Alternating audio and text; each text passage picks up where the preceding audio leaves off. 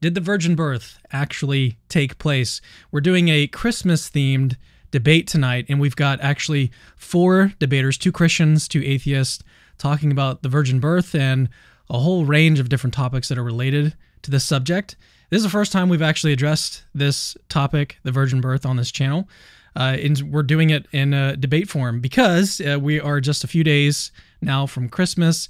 But let's jump in as quickly as possible. I'll give you guys a quick outline of like what you can expect from the debate. We're actually splitting this into two different chunks or different portions. So we'll have one hour just on the broad topic of the virgin birth. Jimmy Akin will be presenting. We'll get a response from John Loftus. He's our atheist or one of our atheist uh, contributors or debaters. Uh, that that'll be the first hour, just on the virgin birth. Second hour is going to be focused on uh, these sort of Marian miracles and whether or not we can actually infer from these, say, uh, Marian apparitions or miracles attributed to Mary, whether or not those can actually be used to support the these sort of you know the, the, ancient documents about the virgin birth and whether or not that actually occurred. A, that part of the debate actually is going to be really interesting. I'm, I'm really excited about that part. We've got Caleb Jackson, who is our Christian. He'll be presenting on that, and then we've got Dr. Darren Slade. He's the uh, atheist historian who's going to be rebutting Caleb's case. So we've got these. Uh, this debate is cut up into kind of like two hour sections. Let me go ahead and pull them up on the screen here. So we've got Jimmy Akin right below me. Caleb is right next to him. John Loftus is next to Caleb, and then Dr. Darren Slade. He is all the way over there in the corner. Um, but uh, instead of like what we kind of do here is we like to jump in directly to the material. So if you'd like to learn more about my guests, then check the description. If you hear anything that you like and you'd like to look more into what they're doing and where you can find them, then just check for the description of the video. So with that, let's go ahead and jump as quickly as we can into the presentations. As I mentioned, we've got Jimmy. He'll be sort of opening things up. 10 minute presentation from him, 10 minute rebuttal from John, and then we'll switch it over to the uh, the second hour. Oh, I should have also mentioned that after these opening presentations that we've got for these uh, two hour blocks, we're going to enter into a 40 minute discussion period that'll be open to all four participants. So tonight's actually going to be uh, really interesting. There's a kind of a new format, and we don't really have a whole lot of like four person debates we host on this channel just because they can kind of get chaotic. But I thought, you know what, to uh, to add to this sort of chaos that's inevitably going to happen tonight. I thought, you know what would be fun? If we actually took the super chats that you guys send in, if we took them and like stopped what they were saying and talking about and uh, and and tried to work those in as best as we can. So we'll see what we can do. Uh, I can't promise, you know, that we're going to just actually stop what they're talking about and, and address all of these super chats that will be sent in, but we are going to try to work those in. So if you'd like to help support the ministry and, and ask a question tonight, then uh, you're definitely welcome to do so. And we'll, we'll do our best to, to work that in. So let's kick it over to Jimmy. Let's let him give his 10 minute opening presentation on the virgin birth. Um, let me go ahead and switch scenes here. We'll get his presentation pulled up. There we go. And so Jimmy, whenever you're ready, I'll uh, I'll be keeping time on my end, and uh, just let me know when you'd like me to proceed to the next slide. Sounds great. Let's start by doing just that and go to the next slide. So, my understanding is that the original topic of this uh, debate was supposed to be miracles, but John insisted that we debate one specific miracle, the virgin birth of Christ, since it's Christmas. And I understand that. Um, however, I don't think that this is a particularly well framed debate topic for us. And, you know, I would have preferred to debate something else, but here we are. Well framed debates are ones where the participants share a common framework, but then differ on a particular point which they can debate. You know, for example, it would not be a well framed debate to discuss whether atoms contain subatomic particles known as neutrons if one of the participants doesn't even believe that atoms exist because he rejects the atomic theory of matter. You know, that would tend to get off track into another topic rather quickly. Uh, debates that aren't well framed tend to divert to other topics, you know, like debating the existence of atoms instead of the existence of neutrons, which is not the same thing. Um, the virgin birth isn't well framed for us because what you conclude about the virgin birth depends on the framework that you have. If you're an Orthodox Christian, like I am, and you see that the New Testament teaches the virgin birth, then you're likely to conclude that it actually mm-hmm. happened. But if you're an atheist like John and you see the same thing, the New Testament teaching the virgin birth, you're not likely to conclude that it happened. So the virgin birth really doesn't stand on its own apart from other larger issues. And so this debate is likely to veer into other topics besides the virgin birth itself. Nevertheless, what I'll do is present an argument for the virgin birth, an argument that convinces me that it happened. And I'll warn you right now, this is a theological argument because, of course, it is you know it's it, this miracle is not one we have tons of independent records of and so the um the miracle that i've been asked to debate is one that is supported principally by theological concerns leave it up to john to identify what topics he'd like to debate but note we may end up veering away from the virgin birth itself which is the stated subject of the debate next slide please so, this is an argument that I find convincing for the virgin birth. It is a theological argument. It has eight premises and seven conclusions. And it goes like this If God exists, then he's infinitely perfect. And God exists, so God is infinitely perfect. That's just a simple modus ponens inference from the first two premises. If God is infinitely perfect, then he's accurate in what he says. And since we already concluded he's infinitely perfect, that means God is accurate in what he asserts. Premise four if the New Testament is inspired by God, then God asserts what the New Testament asserts. The New Testament is inspired by God, therefore, God asserts what the New Testament asserts. Again, these are all just modus ponens. Well, premise six, it turns out the New Testament asserts the virgin birth. Therefore, God asserts what the New Testament asserts, and the New Testament asserts the virgin birth of Christ. If God asserts what the New Testament asserts, and if the New Testament asserts the virgin birth, then it logically follows God asserts the virgin birth. So I conclude God asserts the virgin birth. And therefore, since God is accurate in what he asserts, and he, uh, God is accurate in what he asserts, and he also asserts the virgin birth. Finally, for the sake of logical form, if God is accurate in what he asserts, and God asserts the virgin birth, then the virgin birth is going to be true. And since God is, is accurate and asserts the virgin birth, that means the virgin birth is true. Next slide, please. So um, the argument, I, in order to put it in proper logical form, so you could see the logical structure, I had to phrase it in kind of a somewhat complicated way, just to make sure all the logical steps were spelled out. But the argument uses only two logical operations: conjunction, where you connect two things that have already been established, and modus ponens, mm-hmm. both of those are recognized as valid logical operations. So the argument is logically valid. And the conclusion of a logically valid argument is true if the premises are true.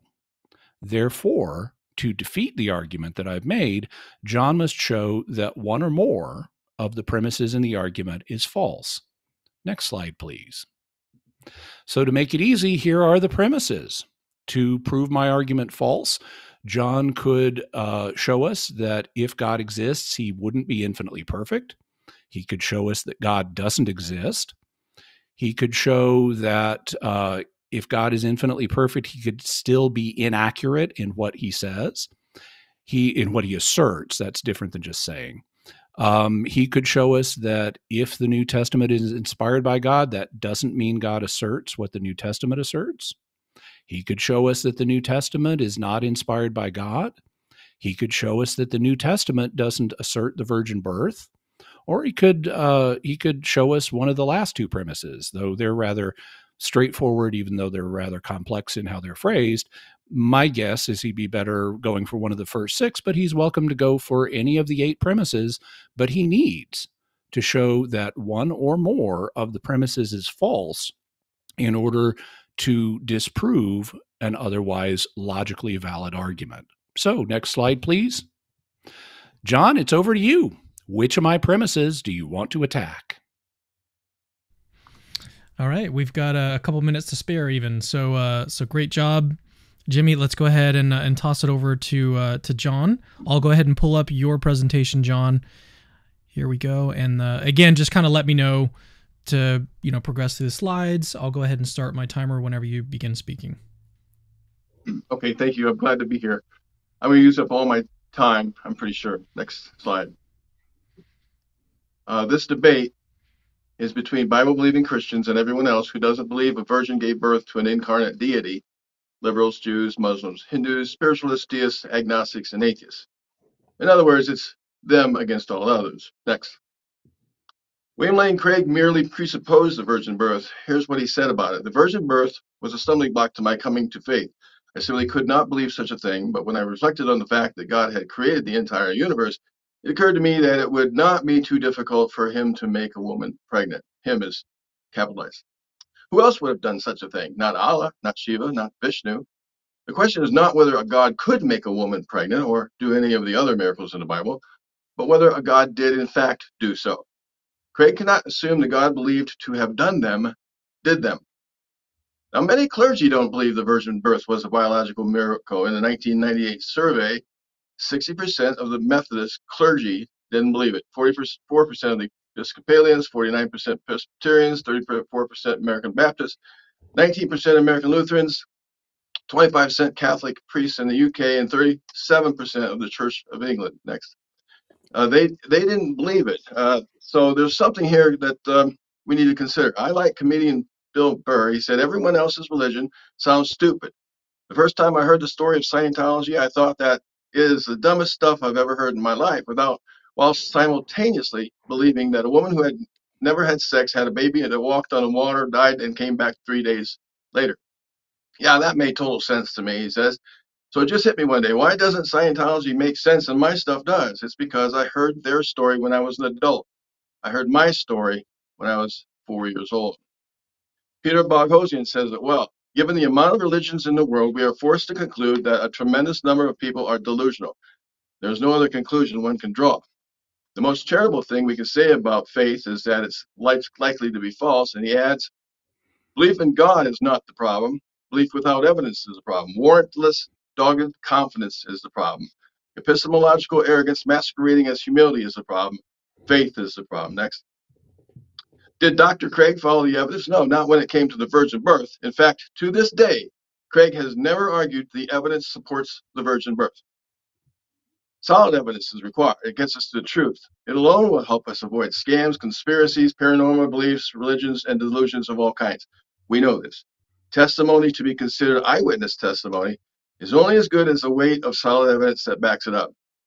What does not count as solid evidence is circumstantial evidence, subjective feelings, writings claimed to be inspired, dreams or alleged visions, third, second, third, fourth hand hearsay testimony, and a one in a million healing event. Now, about the one in a million healing, we know the odds are one in a million, but there are eight billion people on the planet, so you'd actually expect a lot of um, uh, unexplainable um, healing events.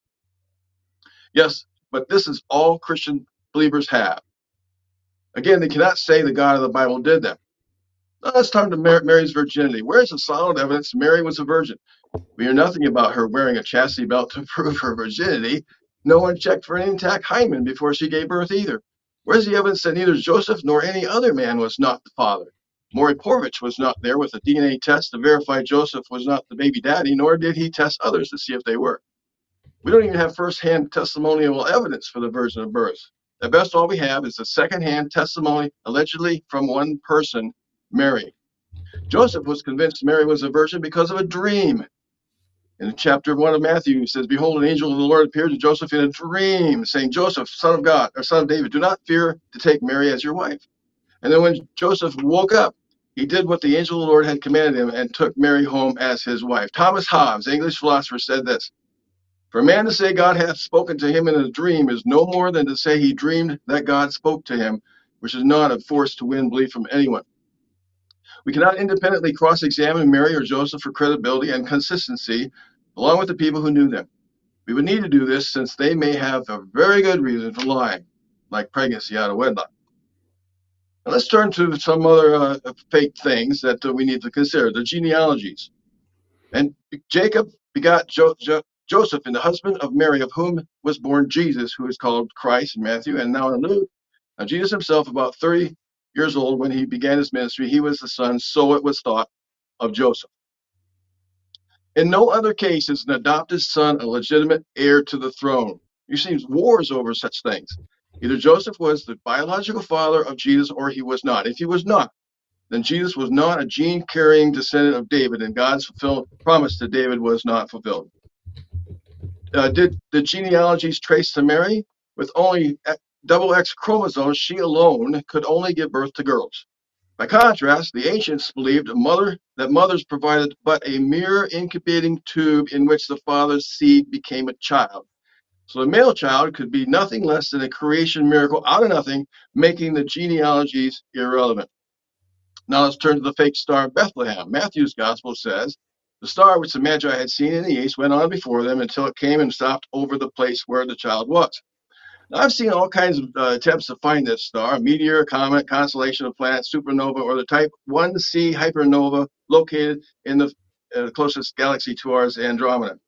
The fatal problem is that the magical star led the Magi to Bethlehem and stopped in the sky directly over a specific house where Jesus was born. Not only are moving stars nonsense, they don't appear to move in a southern direction from Jerusalem south to Bethlehem. Stars appear to move from the east to the west like the sun because of the spin of the earth. Here's a map. In the middle, you see Jerusalem. You have to go south to, to Bethlehem. The stars had to have traveled south, but that's nonsense. Now, the fake census.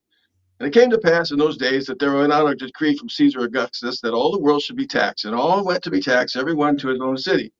Joseph also went up from Galilee out of the city of Nazareth into Judea unto the city of David, which is called Bethlehem, because he was of the house and lineage of David. So it says, Joseph went to Bethlehem for the census because he was from the lineage of David, it says. David lived 42 generations, we trust one of the genealogies, but if everyone returned to an ancestor's town 42 generations ago, the whole empire would be uprooted.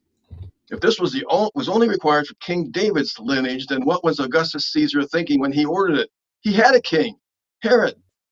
To sum up so far, if we wish to see Luke's accounts as historical events, we'd have to take a large leap of faith. We'd have to assume that while on verifiable matters of historical fact, Luke tells all sorts of fairy tales, but on supernatural matters, which by definition cannot be checked, he reports the facts. Now, but into the last part, the, the fake prophecy of Isaiah.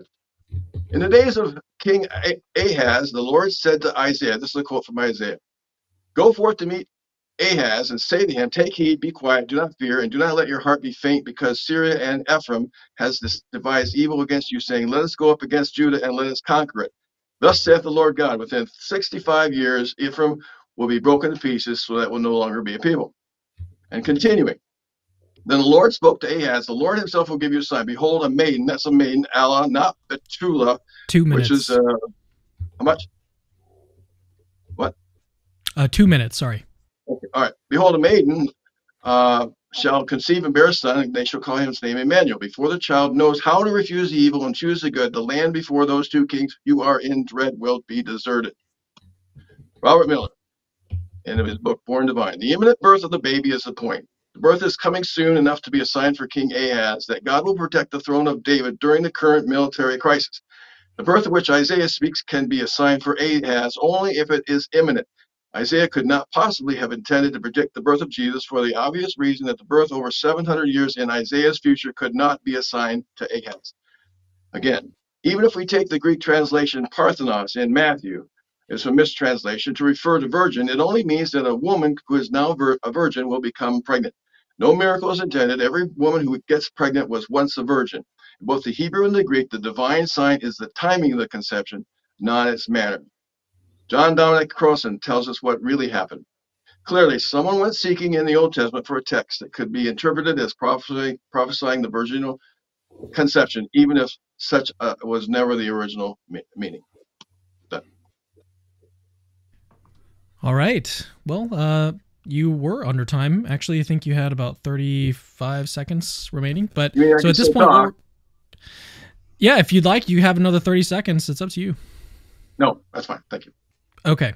Well, um, so at this point, we're going to switch to a 40 minute period where this is just going to be an open dialogue between the four guests tonight. So let's just open it up. Um, Jimmy, I mean, we can turn mm-hmm. it over to you or Caleb actually. I mean, because um, this is open to all four of you guys. It it, it really depends. I mean, it's I'm I'm just gonna kind of let you guys do your thing. I'll jump in if I need to. I, I, we were before we went live. I was I was letting them know like I'd like to stay out of this as much as possible.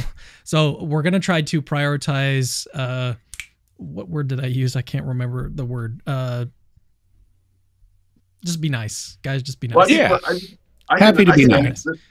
I can ask this question. Uh, uh if in fact, actually, uh, actually, since you've just made your case, I'd like to ask oh, a, a question, question. I may.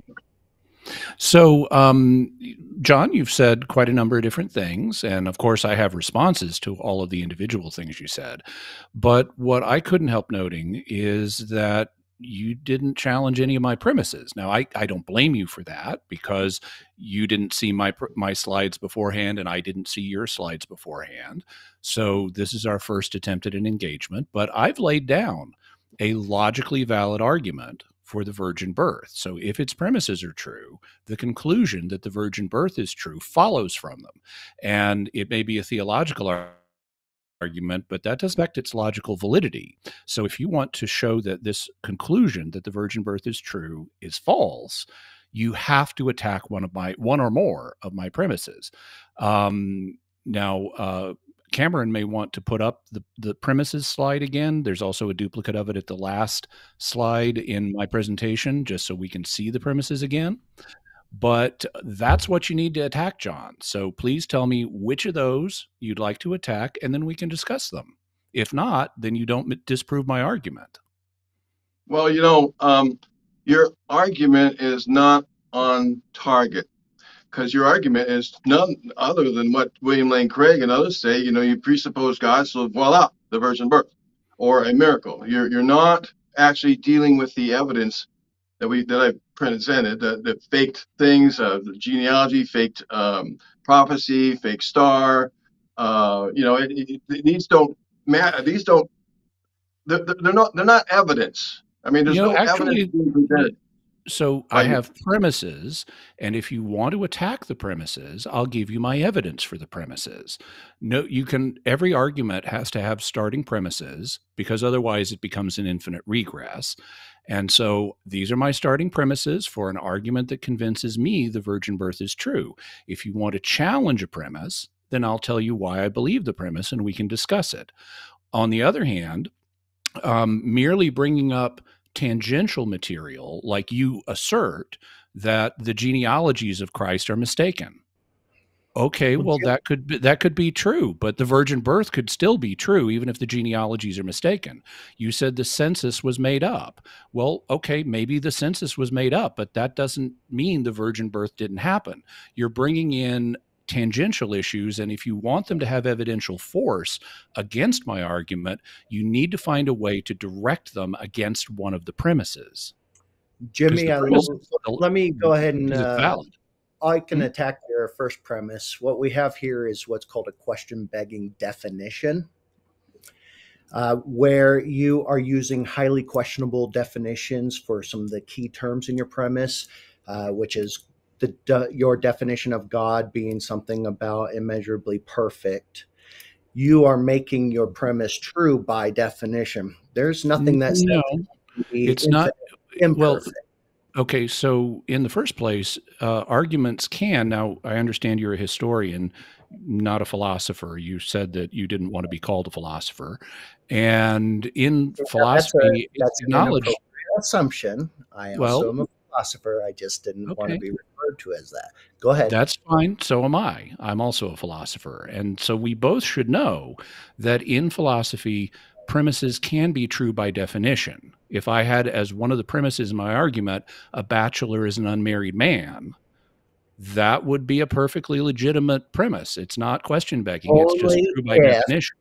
The empirical claim is irrefutable and it is if it is agreed upon. But the problem is you are assuming everybody has the same definition of what it means to be perfect, what it means to be God. Okay. All of is I'll, disputable. I, I, I recognize I recognize that different people may have different definitions. For example, if you're talking about a lowercase god, like let's say Hephaestus, or um, Mars. Well, gods like Hephaestus and Mars don't have to be infinitely perfect. In fact, I would say none of the Greek gods are infinitely perfect. But as a philosopher, you would know that we can use stipulative definitions. And so when I use the word God, I stipulate that God is infinitely perfect.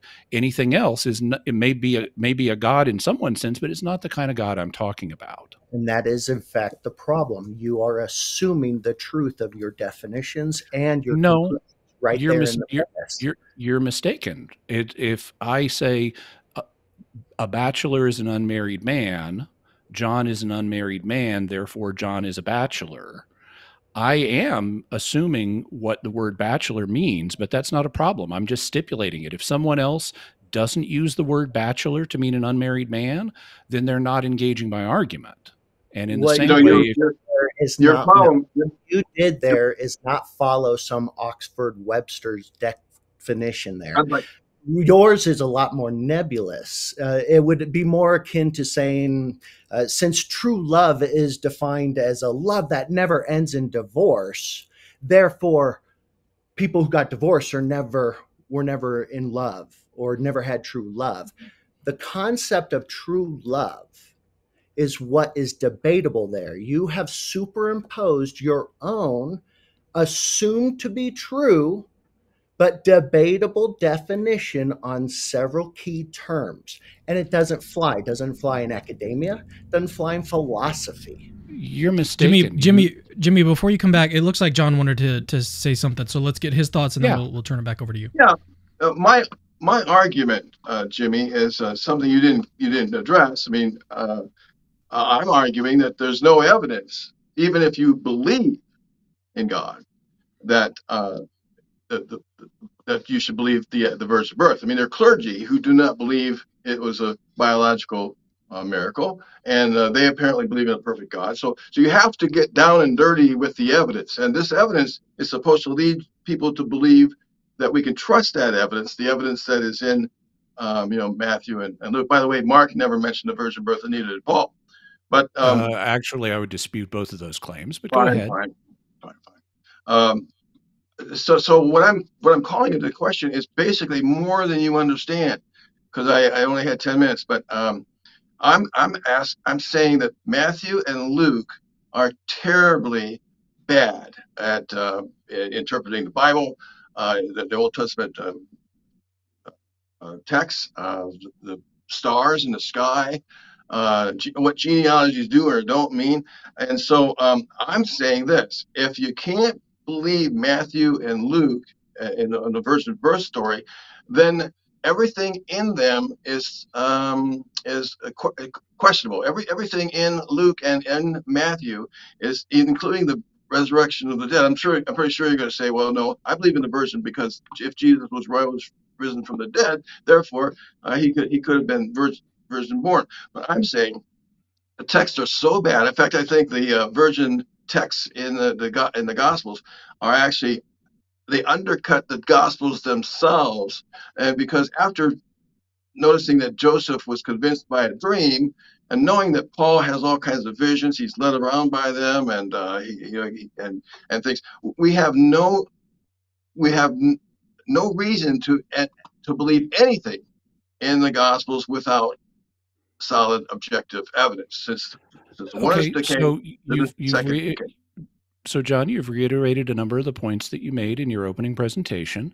Um, I'm afraid, uh, uh, Darren, that I, am going to have to. John's just brought a new bunch of material on the table, so I won't be able, unless you want to bring it up again, I won't be able to continue our discussion about stipulative definitions. But they are commonly used in academia. This, what you said about them not being used in academia is simply false. No, Having you said didn't that, use it correctly. That's I, the problem. I, I, I used I used it correctly. And if you want to ask questions about what do I mean when I say I God, or what do I mean when I say infinitely perfect, you committed welcome to do that. And just saying I didn't do it yeah, have I haven't committed a fallacy. You haven't named a fallacy.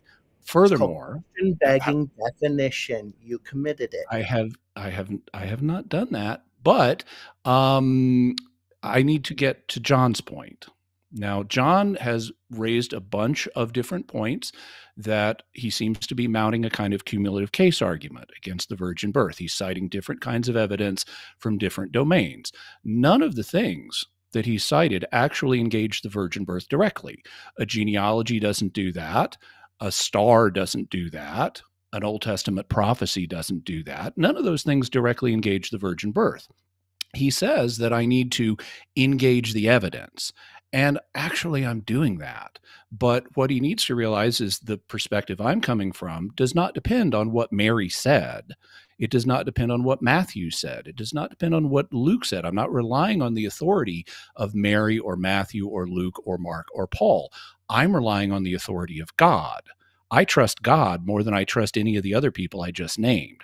So if God asserts the virgin birth is true, I'm going to believe God. That's why I believe it, not because I've got some mountain of historical evidence I could independently investigate. John was attacking your premise three. Hang, hang on. Well, you're dominating the discussion. I'm trying to get to the John end of was addressing premise number three, and you I'm, don't seem to understand that. Cameron, I'm gonna, Cameron, I'm going to need you to intervene because I need an adjudication on time. I let John go on for quite some time. I've let Darren go on yeah. for quite some time. I'm trying to get to a conclusion and throw it back over to them. Darren, but yeah, Darren, let's let's let him just finish his point here, and then we'll bring you back in for sure to let you make your points. Okay, so uh, you know, John has tried to mount a cumulative case argument, but I've provided a valid argument for the virgin birth. One or more of those premises has to be false. So, what I've done is provide a logical structure that we can use to build on. So I would invite John to relate your arguments to one of my premises and try to show that it's false. Well, where's, where's the premise that says that uh, you can trust the Bible? You can trust uh, uh, the evidence that's presented. You have to have evidence. I mean, that was my main point. You have to have evidence, and everything we know from Matthew and Luke is that they're clueless. They're absolutely clueless uh, about yeah, I would dispute realities, about the about the uh, you know the stars. Well, if I can just say too, Darren was saying that John was objecting to basically premise three and maybe premises four and five. If he's attack, if he's doing an internal critique on the genealogies and just the overall historicity of the account, he's saying if we can poke holes in the story, does that not make us question the accuracy of the New Testament, which makes us question the inspiration by God and so right? That's what Darren and John were trying to to get at, just to to kind of direct this more towards the premises. If that's yeah, an accurate. It, it sounds to, it sounds to me like they're they're that John is mostly going for premise 5 that the New Testament is inspired by God and he's trying to use various things that he sees as flaws in the gospels as evidence against the inspiration of the New Testament. Um, Darren, you seem to still think that he's going uh, contrary to 3. 3 is if God is infinitely perfect, then he's accurate in what he asserts. So well, it seems like again, to, you don't to deny that definitions. What do you mean by he is accurate in what he asserts? What does that mean? I mean that God that if God asserts something, that thing is accurate. It is true, and um, an assertion. Sense? What's that? In what sense true? It corresponds with reality. Standard correspondence definition of truth. Epistemology okay. 101. Okay. So, as a philosopher, you should know that truth and those types of words have a whole bunch of complex layers to it. So, there is no standardized definition that all of a sudden we should be buying into. But you're saying, are you saying from premise number three, God inspired the birth narrative in Matthew and Luke, therefore, it is historically true metaphorically true, allegorically true, spiritually true? Which one? So, premise three doesn't actually address the birth narratives. Um, when I get uh, to to something dealing with the virgin birth, when you say God communicates accurately. Sorry, Darren. Let, us see if we can let's see if we can get Jimmy's Jimmy's yeah, response because, before we yeah. I'm not going to let Jimmy try to dominate by picking uh, different things in semantics. You know exactly what I'm asking.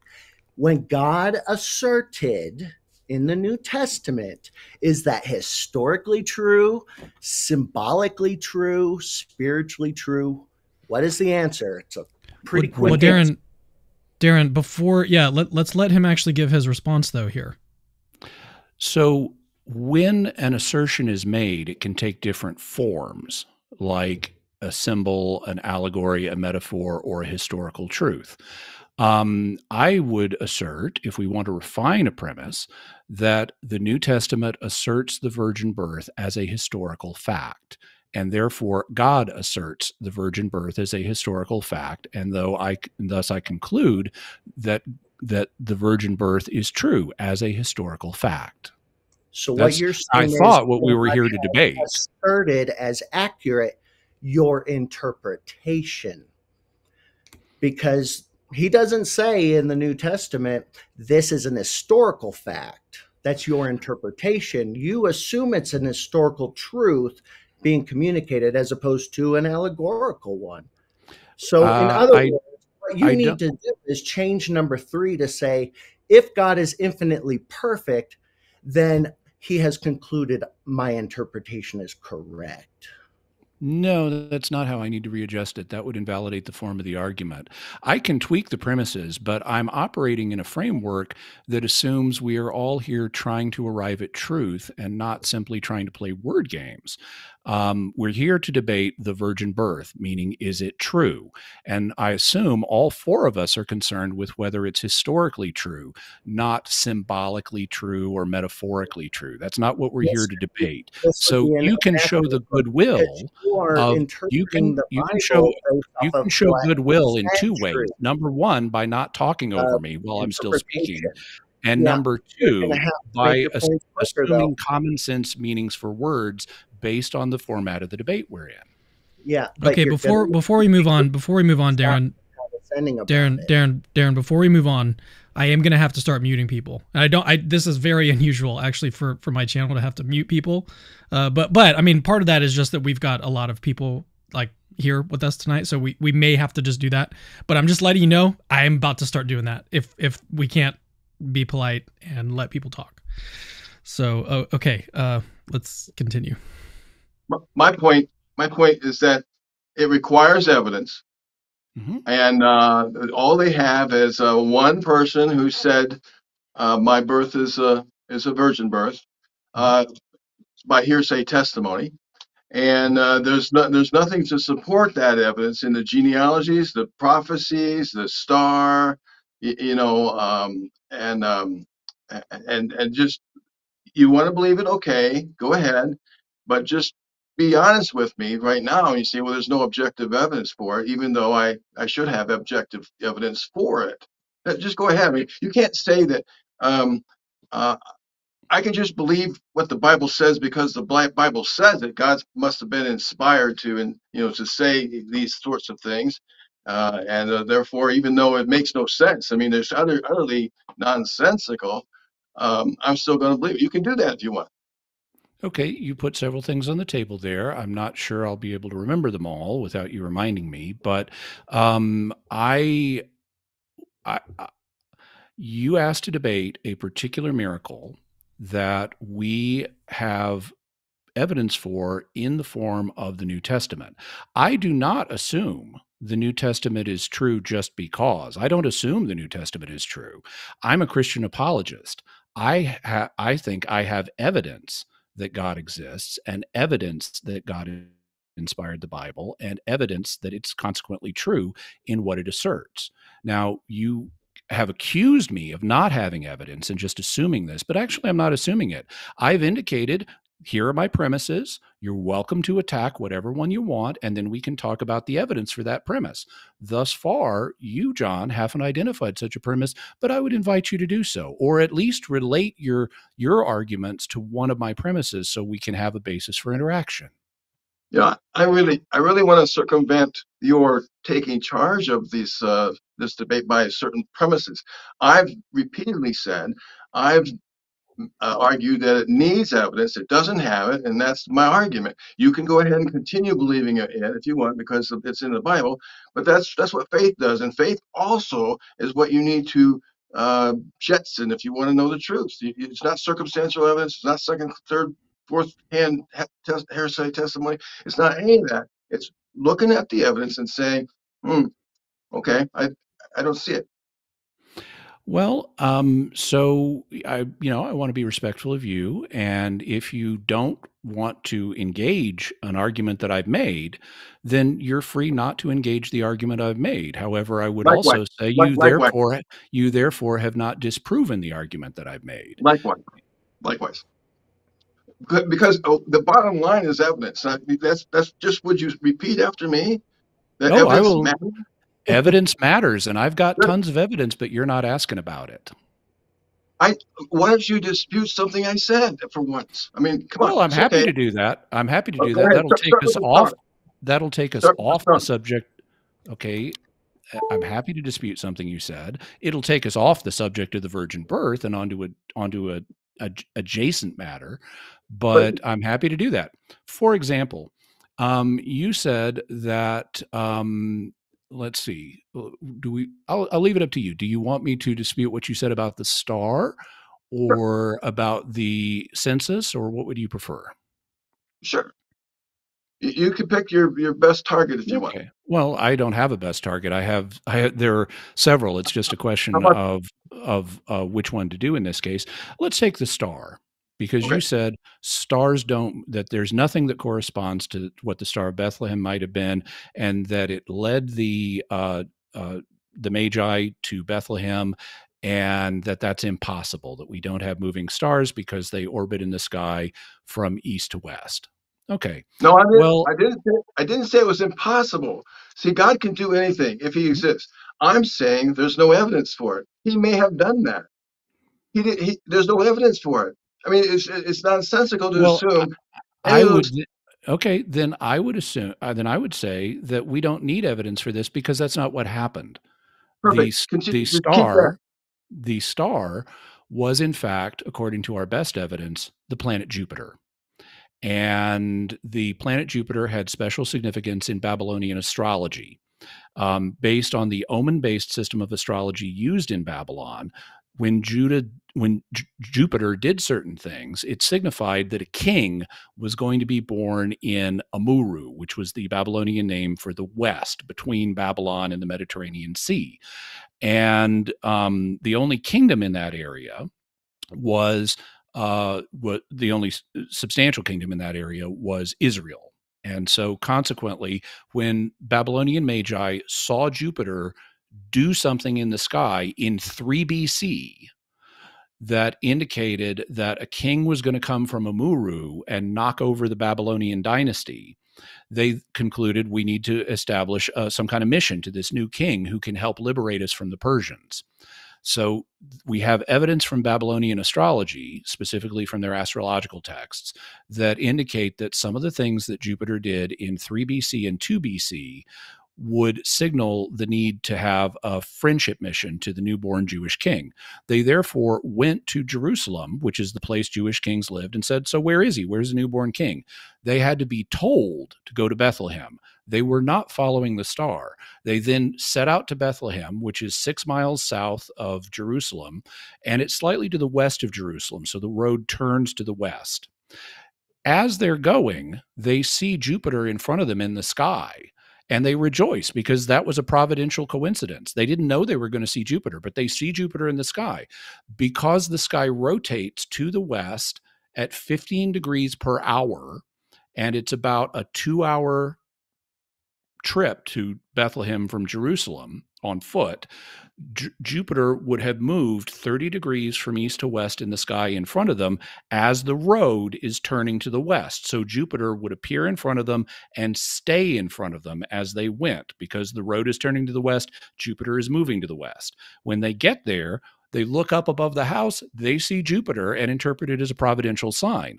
There's nothing impossible about this. There's nothing scientifically improbable about this. This is all the normal natural movements of Jupiter as understood when you have the correct background from Babylonian astrology and when you read the text of Matthew in a careful way. So I would dispute what you said about the star. Hey, Jimmy, you, real quick, uh, I'm trying to read my Bible. Where, uh, what verse in the Bible is it in Matthew that says Jupiter?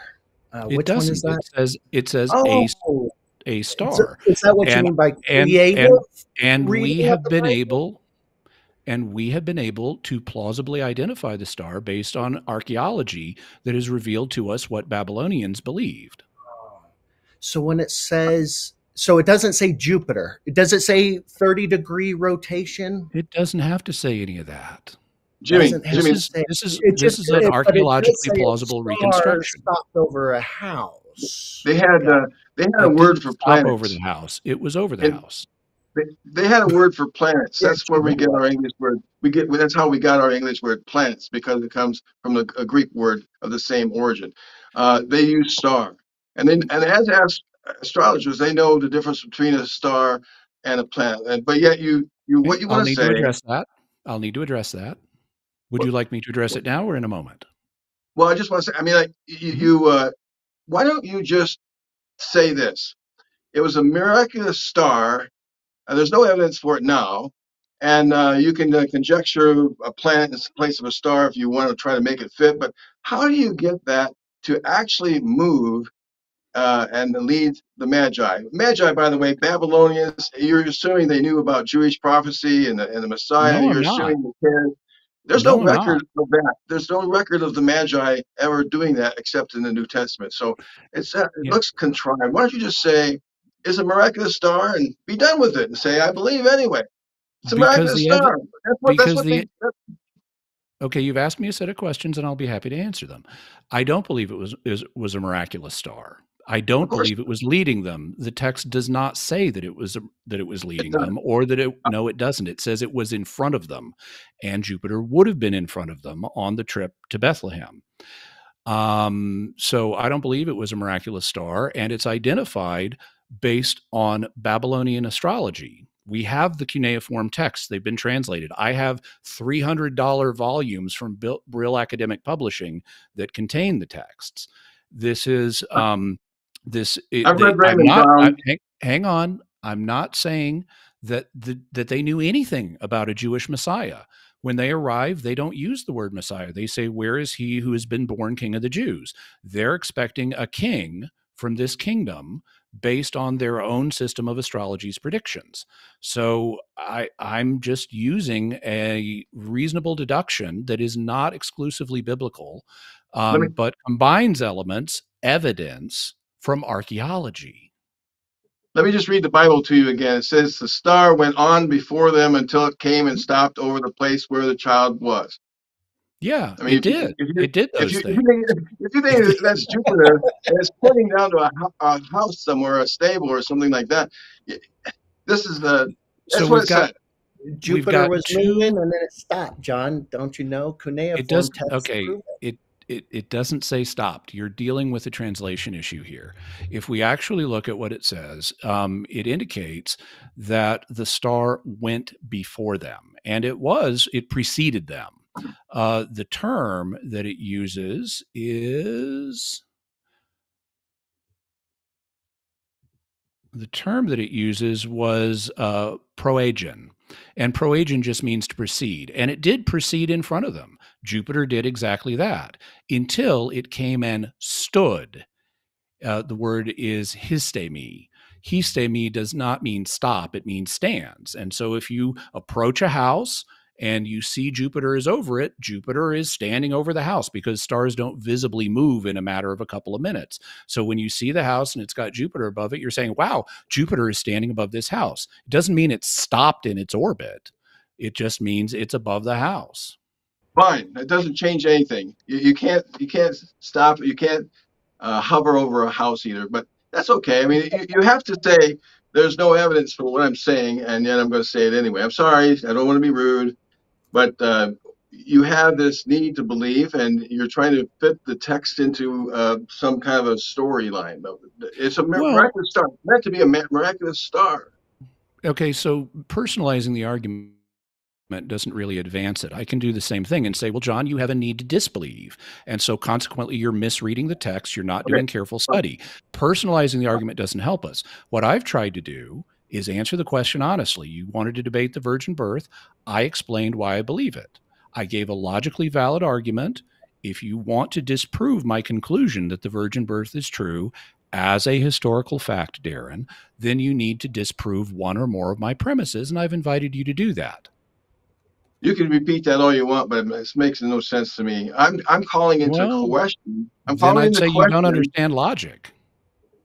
Oh, I understand logic, and you can make anything uh, follow certain premises and, and avoid the, the, the, topic entirely. I'm questioning the reliability of Matthew and Luke's stories, and with that, everything that goes in those stories, in those gospels, including the resurrection uh, of Jesus.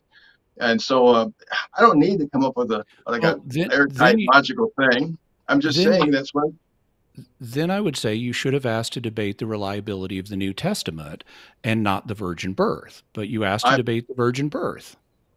I, I'm, I'm, I, I, I issue is is a lot of the adding to the biblical story here to make it fit science, modern day science, when none of that would have been necessary in the ancient world because they're going off of a very ancient superstitious worldview but you're definitely incorrect about interpreting uh, Matthew 2 9 about the fact that the star isn't in motion and then stops. But then you said, oh, but you can't see motion with the stars. Yeah, and you can't tell a house based off of Jupiter.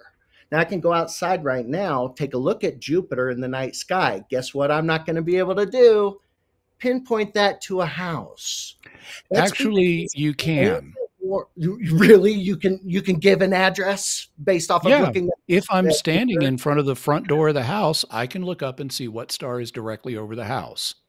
There will probably be several stars directly over the house that are visible to the naked eye. But if I'm standing close to the house and I look up above it, I could see Jupiter, I could see Venus, I could see mm. I could see one of the stars of Cassiopeia, I could see anything that happens to be above the house at that moment in the sky. Yeah, I, I don't know if I. It's a matter of perspective. I tell you this, but Jupiter's millions of miles away. It's not above anything on Earth. In a relative perspective, Jupiter, like other bodies in the sky, including the sun, appear above things. You can go to a building at noon, look up, and see the sun above the building. You can do the same thing with Jupiter. It's just a, it's just a smaller light. By the way, y'all mentioned about how we have this term planet. Um, I don't know how familiar you are with the history of astronomy, but historically, the term aster, the, hang on, term, the term aster referred to any luminous body in the sky. So even the sun and the moon, because they were luminous bodies in the sky, were called planets. But the full name is Asteres Planetes. Planetes is Greek for wanderer. And so, what they would do is distinguish the background fixed stars, which maintained relative positions to each other, from the wandering stars like Jupiter. So, Jupiter was indeed conceived of as a star. It was a wandering star, an Asteres comet, uh, an Asteres planetes. So let's let let's let John or uh, or Darren give their last thoughts on this, and then we're going to switch to the second half of the show, which we'll be talking about these sort of uh, Marian apparitions, Marian type miracles, and whether or not that can be used to also support uh, the virgin birth. So, but let's give uh, John and Darren a, a, a, last comment here, and then we'll switch. Uh, okay, well, um, he's uh, Jimmy is trying to make like like what Darren said, he, he's trying to fit uh, a text that was never intended to be scientifically examined uh, into uh, a scientific uh, case. And um, I mean, it's clearly they were pre-scientific. They didn't even know how babies were born. You know, they. um, I'm sorry, it's a. All you need is a womb and just plant some seed in it, and the womb is just supposed to be there and bring it to fruition. So uh, you, you ought to rethink that and then look at that clergy survey and ask yourself, well, let's see now, why do so many of them, not all, I mean, clearly in some of those percentages, uh, there are more believers uh, in the clergy than non-believers, but imagine 25% of Catholics in the UK, uh, Catholic clergy, they, they must see the same things I do. And you don't have to be an atheist. I'm saying what you believe is clearly against what everyone else, your views go against what everyone else thinks in the world. You know, uh, I said Jews and agnostics, deists, uh, spiritualists, you know, liberals. So um, you need to reconsider the evidence and ask yourself, am I doing to the Bible what the Bible was never meant to do? And and Bart Ehrman makes those kind of cases. You know, you, you can still believe, you know, I suppose. Uh, it's just that you have to understand what the Bible says, and you're trying to make it scientifically accurate is really wrong, really bad. Uh, Jimmy, well, did you want to respond to that real quick?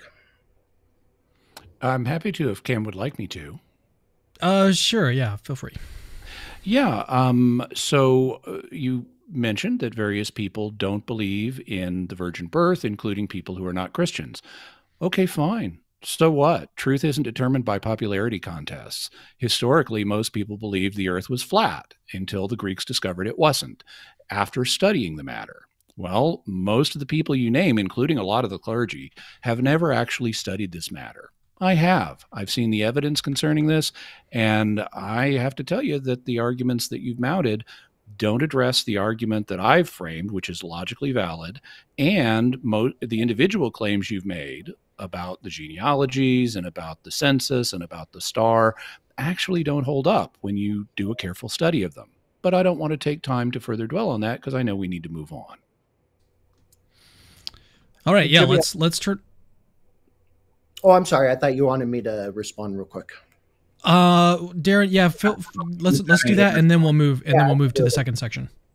Yeah, um, you know, Jimmy, at the very beginning, you had said this is not a well framed debate. And I actually mm-hmm. disagree mm-hmm. with that because we all have a fair good grounding of what reality is. And virgins don't get pregnant. And we all have not that. Without a miracle. Right. Well, and that's kind of the issue, though. You haven't proven or demonstrated a miracle. You just said that God is accurate in what he says. Uh, then you say that that must be an historical virgin birth, not an allegorical one, metaphorical one, nothing like that. Um, God also, according to one of your positions, uh, inspired the New Testament. For this cause, God shall send them strong delusion that they should believe a lie. That's Second Thessalonians 2.11. And I can actually list a whole bunch of verses in the Bible where God is lying and deceiving purposely. So God is accurate historically, yet when he chooses to lie also. So even you can say he inspired the New Testament all you want. Doesn't mean that a virgin birth happened. Could potentially mean your God lies. So Jimmy, I'm sure you've got like you know 20 different things you'd like to say in response to yep. that, but but let let's move on uh, to yep. the second section. Let's get a and Caleb's been quiet like this entire time, so let's uh, yeah, we're, we're going to turn over to him to to get his uh, his presentation. So let me go ahead and pull up that scene here. I was right. being quiet to show off my impression of Jesus during the Passion when he was silent like a lamb. So trying to draw that analogy. So now you're going to utter the blasphemy. Yeah, probably not. Do you? Um, yeah, go ahead and share your screen, and then I'll, I'll get it up I here. It up. Okay, got it. Uh, share. All right. Can you see that? There we go. Yep. full screen. It's on. Okay. It's on the full screen. Yep. So, mine, so, yeah, and then whenever you, whenever you begin, I'll I'll start my timer. Okay. Yeah, uh, we can just go ahead and go. So yeah, I, again, thank you for that interaction. Sorry that I didn't have more to contribute in that one, but I didn't want to, to get off rails. So I'm going to be taking a different approach and one that I feel more comfortable with because I, I think, like perhaps some of the atheists that are on the panel today, am more sympathetic to knowing that history, I think, has its limitations. And the historical method of all the methods is probably the most presumptive and the most um, unreliable in terms of the guesses and assumptions that we have to make. So I do think that appealing to modern phenomena would be better, and we can make a retroactive argument for that. So uh, this is perhaps a bit unorthodox, but I think it, uh, at least in my mind, may be a bit more effective. So essentially, I'm going to be arguing that if we have good evidence for miracles, at least miracles within a particular Marian context for the theming of this uh, occur, and can be inferred to be supernatural as the best explanation, then this gives us justification in believing that um, Mary is perhaps the cause, or at least one of the causes of such phenomenon, and would lead to belief that perhaps the Christian doctrines of Mary, including the virgin birth, are likely true or at least have far more validity than they would on their own. So uh, I think that, uh, and I will say that Darren Slade's article on uh, miracles, which was published in John Loftus's book, is very good. I know he has a couple. Um, one one's a chapter in the book, and he has another one about uh, psychology. And I honestly don't find that many areas in that published text where I disagree with with Darren, because in, in that at least in that text, uh, he says that you know we need to have a critical methodology for investigating miracles, and we don't necessarily need to presuppose that miracles are just impossible a priori. Perhaps they are, perhaps they aren't, but we shouldn't just accept testimony blatantly without some kind of criteria. We need to be very rigorous and we need to be skeptical and do this. Not hyper skeptical, but skeptical enough to where we can rule out other alternative possibilities which we know exist. And I think that's actually quite a, a strong method. And so in that chapter, Darren talks about we have to establish witnesses' credibility. We have to establish that they have uh, they're suitable for the testimony, they don't have a testimony that's problematic. So we don't want testimony that has excessive contradictions. We don't want viewpoints that were far away or in the dark or of someone who you didn't recognize, uh, you know, obstruction of observation, etc. I won't go through all of them here for time's sake, but you get the point. If there's if there's testimony like that, we know that can often be unreliable in the context of eyewitness testimony in police cases. Uh, we need to be careful of that. So, what kind of, of testimony would we be looking for then in terms of what we would theoretically need, right? What what would be accurate? Well, I would say in the case of certain Marian apparitions, not all of them, but in some of them we have an advantage here because some of them not only entail Mary just appearing to one person. Sometimes it's appearing to multiple people, and often these are repeated events. You know, they're not always just one person saw a weird thing one time and then told everyone else. Sometimes these happen repeatedly in the same location multiple times in a way that could be replicated, right? In that way, sometimes under conditions that are relatively controlled. I think what's more interesting are uh, elements that follow that, such as people claiming to have been spontaneously healed after seeing these. And in those cases, we can look at and we can actually verify the person's medical history if they had seen a doctor so many times by looking at their records. And we can also repeat the experiment of, okay, are they healed now? Is the disease gone? We can replicate this. And so I would argue that under these particular parameters, we avoid most of the issues we would normally have with faulty memory, uh, cognitive biases, and so forth with eyewitness testimony. So Okay, what Marian miracles would sort of fall under this in this way? Well, I would point to just two for the sake of, of time here. One would be Lourdes, which uh, arguably is the most investigated, not perhaps with the apparitions themselves, but of the healing phenomenon associated with it. Lourdes is one of the most famous healing sites, if not the most in the world, in southern France, beginning when a young girl named Bernadette Soubirous, at the age of 14, claimed to have seen a woman appear to her on 18 different occasions. And uh, towards the end of that, I believe it was the second to last one, uh, she identified the woman as the Virgin Mary when she was told, Je suis l'Immaculée Conception, or I am the Immaculate Conception. And I do apologize for my butchering of the French language there. But after this, the, the Virgin showed her a spring that could allegedly heal people, and people claimed to start being healed. Now, no one is claiming that all of these are legitimate. Many of them are perhaps psychosomatic. This was also the late 19th century, and so misdiagnosis could be possible. Medical science was not exactly perfected even today, let alone then. So we don't want to say that all of these are automatically supernatural, right? But in many of these cases, there are documented ones where there was actually quite an impressive medical, medical history.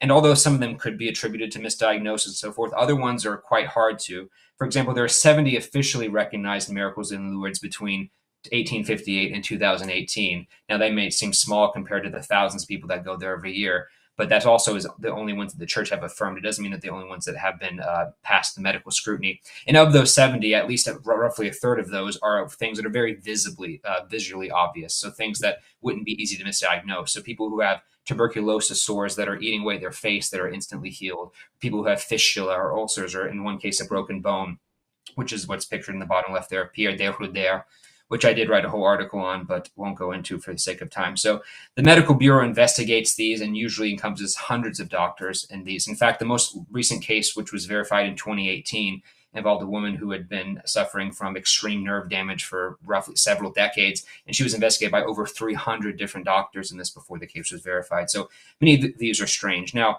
I'm not saying that spontaneous healing in and of itself is miraculous. People do get better all the time, but there are those Lambertini criteria that were on the prior slide that I didn't have time to go through, but I have discussed elsewhere that we're looking for that don't just say that a healing is unexplained, but that it's non-natural in its observation based on those criteria. Something like instantaneity, permanency, completeness, from a history of organic uh, disease and progressive disease. The other one I want to quickly go into here is Our Lady of Zaytun, a case that both Jimmy and I have talked about on podcasts. And this is probably the most well attested in terms of number of people. In 19, uh, Zaytun is known for being the location in traditional Orthodoxy for where Christians believe the Virgin Mary settled in Egypt when they were fleeing Herod from that. Now, that tradition perhaps is not very well attested historically, but uh, the context of it is. So, a church was built there after a man had a dream where the Virgin Mary told him to build a church there and America would appear. 40 years later, in 1968, apparitions start appearing. People see a woman on top and think that it's a woman who's about to jump off and commit suicide. And yet, more people look and identify this as the Virgin Mary. Now, off the bat, you could say perhaps that's pareidolia. Perhaps people, in a sense of religious expectation, get excited and see what they want to see. That is plausible. But this light kept appearing in the same spot in the church and in the surrounding courtyards routinely over the course of three years, that, uh, which is quite remarkable. And even when the power was cut, even when buildings were torn down, no source could be found by either police or local authorities. And so one can see different images of this. Some of them are quite blurry and don't look much like anything other than a strange light. Other ones looked quite a bit more distinct, and one can see if they squint, perhaps how one could see the Virgin Mary out of these. And some pictures are what alleged to be the Virgin Mary sitting there surrounded by incense holding the infant Jesus in that way. So this event led to thousands of Muslims converting to Orthodox Christianity or Coptic Christianity, I should say, and other healings purported as well. And there still is no generally agreed upon explanation for what exactly these weird light phenomenon were.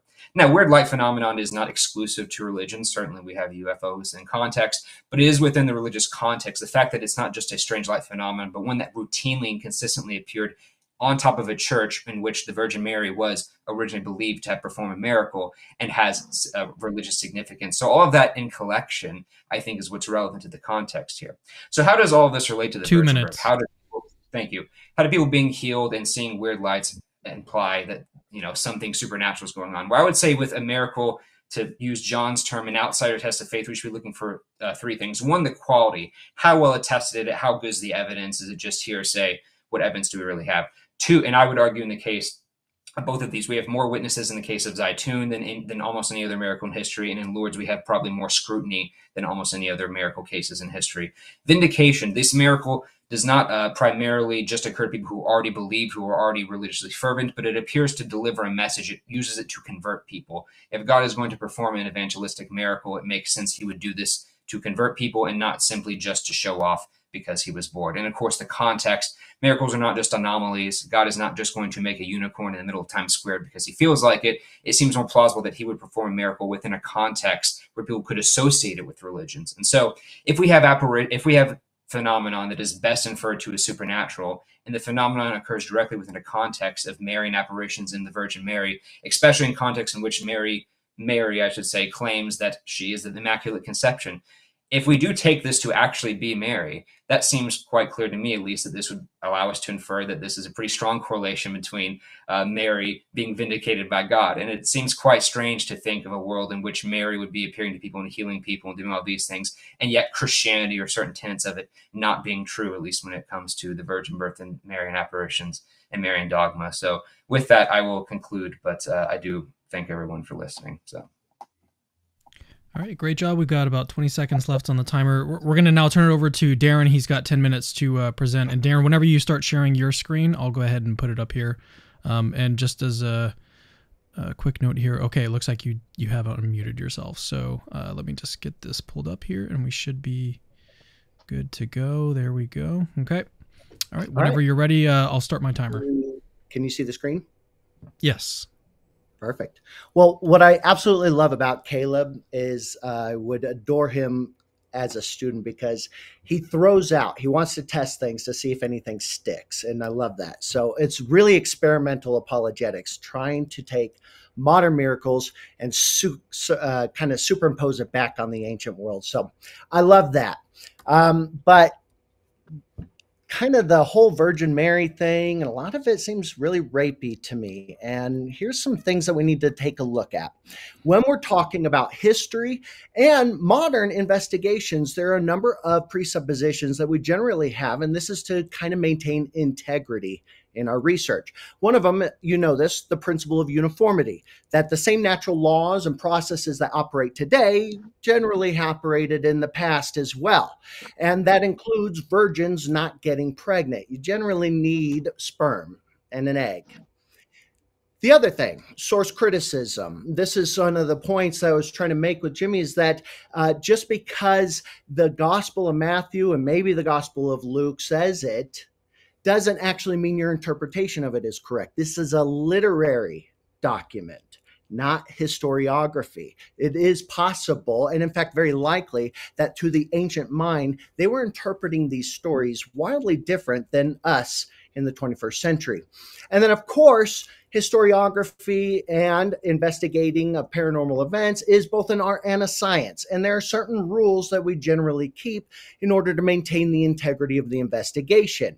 Some of the fallacies that we want to avoid, of course, wishful thinking. Just because we want the miracle doesn't mean it's there selective use of evidence. And this is where we cherry pick specific instances of modern miracles within a Christian context that align with the argument while neglecting instances that may not fit your narrative. Uh, incorrectly conflating different categories, such as modern miracles versus ancient literary claims, and then assume that evidence for one category translates to evidence to the other.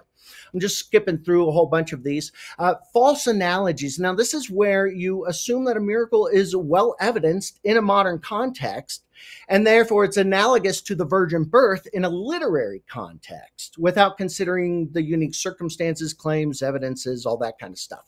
And I want to probe more with the analogous thinking in historiography.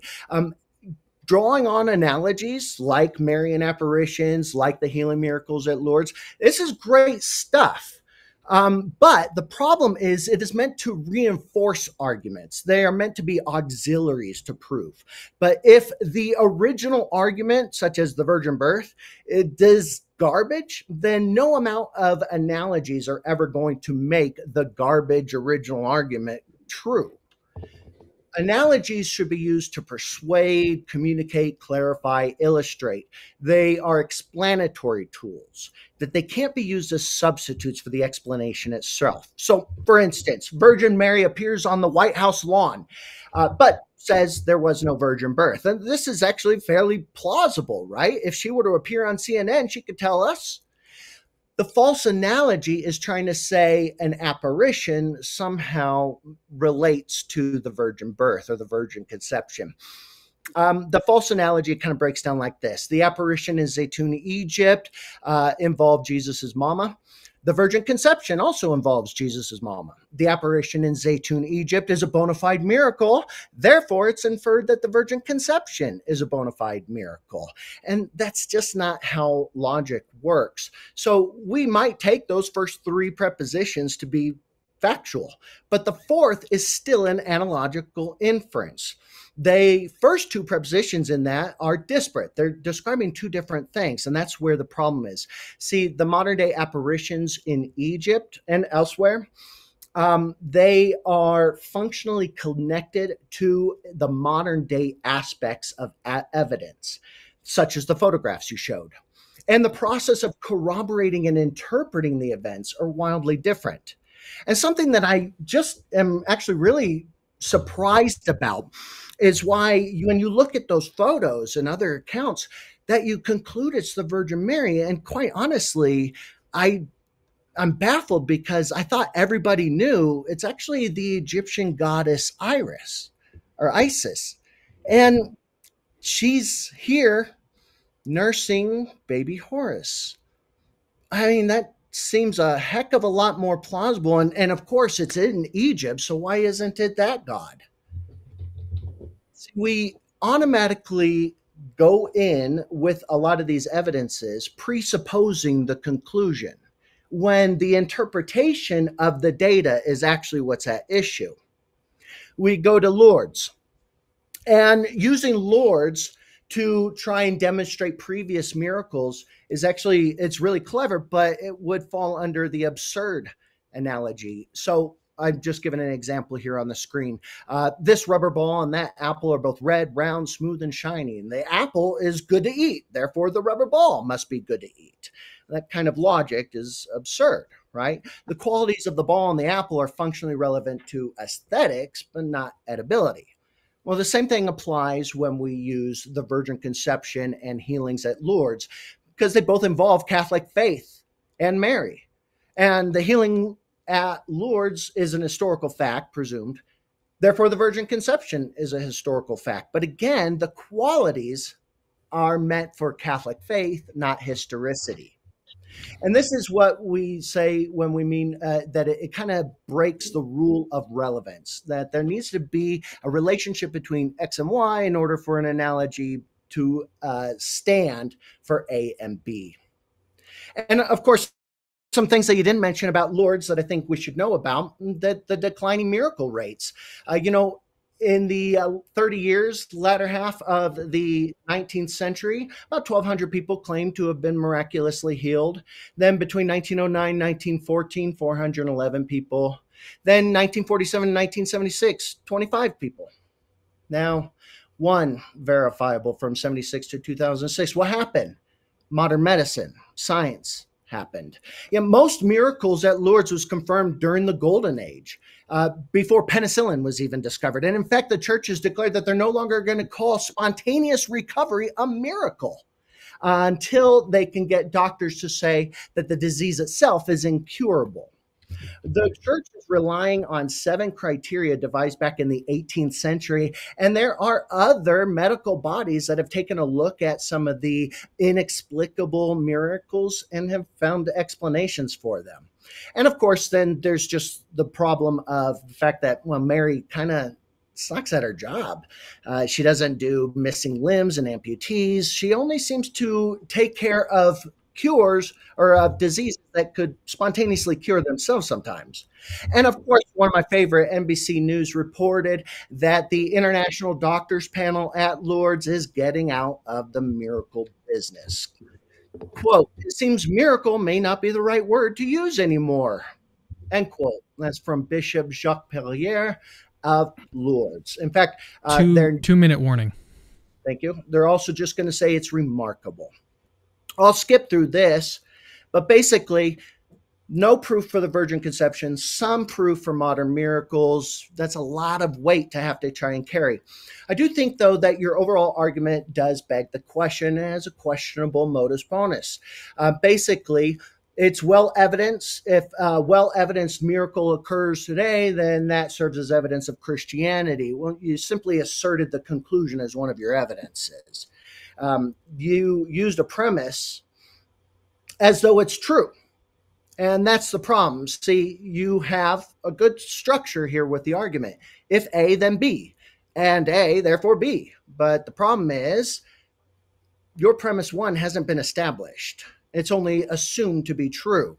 The assumption being that a miracle happened, therefore, the Christian God, even in a Christian context.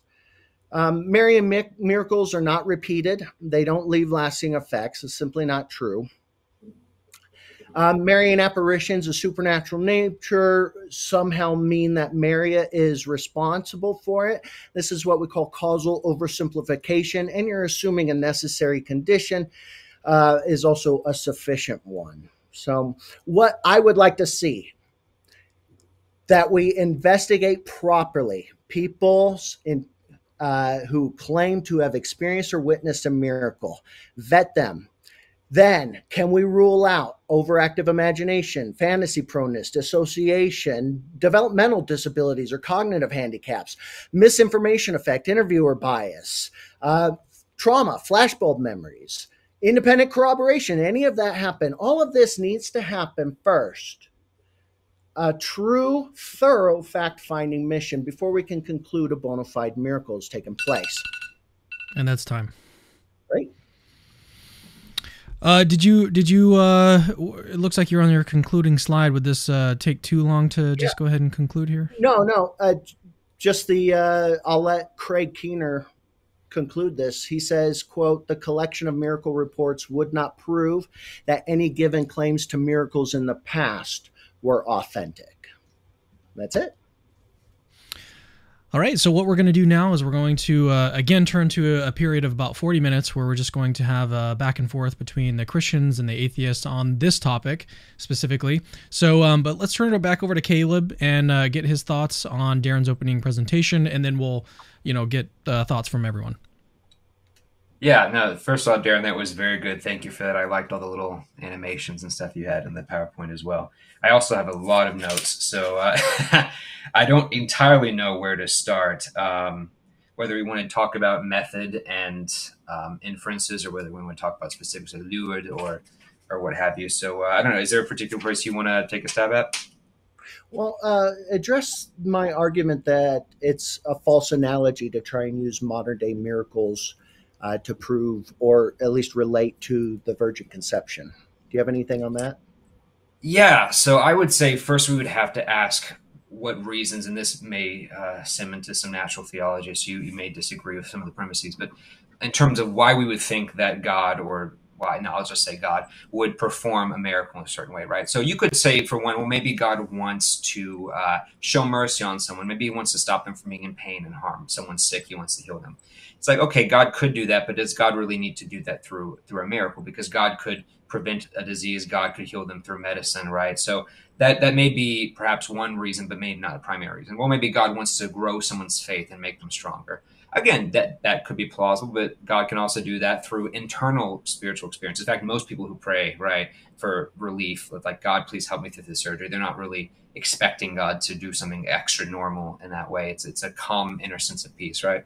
So the third reason would be okay. Well, what's a way in which God could vindicate a, uh, something else to show externally, because internal religious experiences can't be held by by uh, groups of people, only individual. At least I can't see someone religious experience in the way that they can experience it. And so miracles are sort of the symmetry breaker as a sign to say God is vindicating a particular message. And so I think if God is going to do miracles, it is going to primarily be for that reason. It can include the other two, but it does need to have that factor. In fact, the word miracle the Latin is miraculum, to wonder, right? So it's meant to be something that is observable to people to kind of be a stamp of vindication. So if miracles are signs of vindication, then it seems like there is some kind of message to be associated with it. And so if that's the case, then we can ask, okay, what is the message being vindicated here? And that would depend on the context. So if a prophet does something and does a miracle, if that prophet has a message say, hey, I'm from God, and they do something that presumably only God can do, then we may infer, okay, maybe this actually is God giving his stamp of approval if it were legitimately supernatural, right?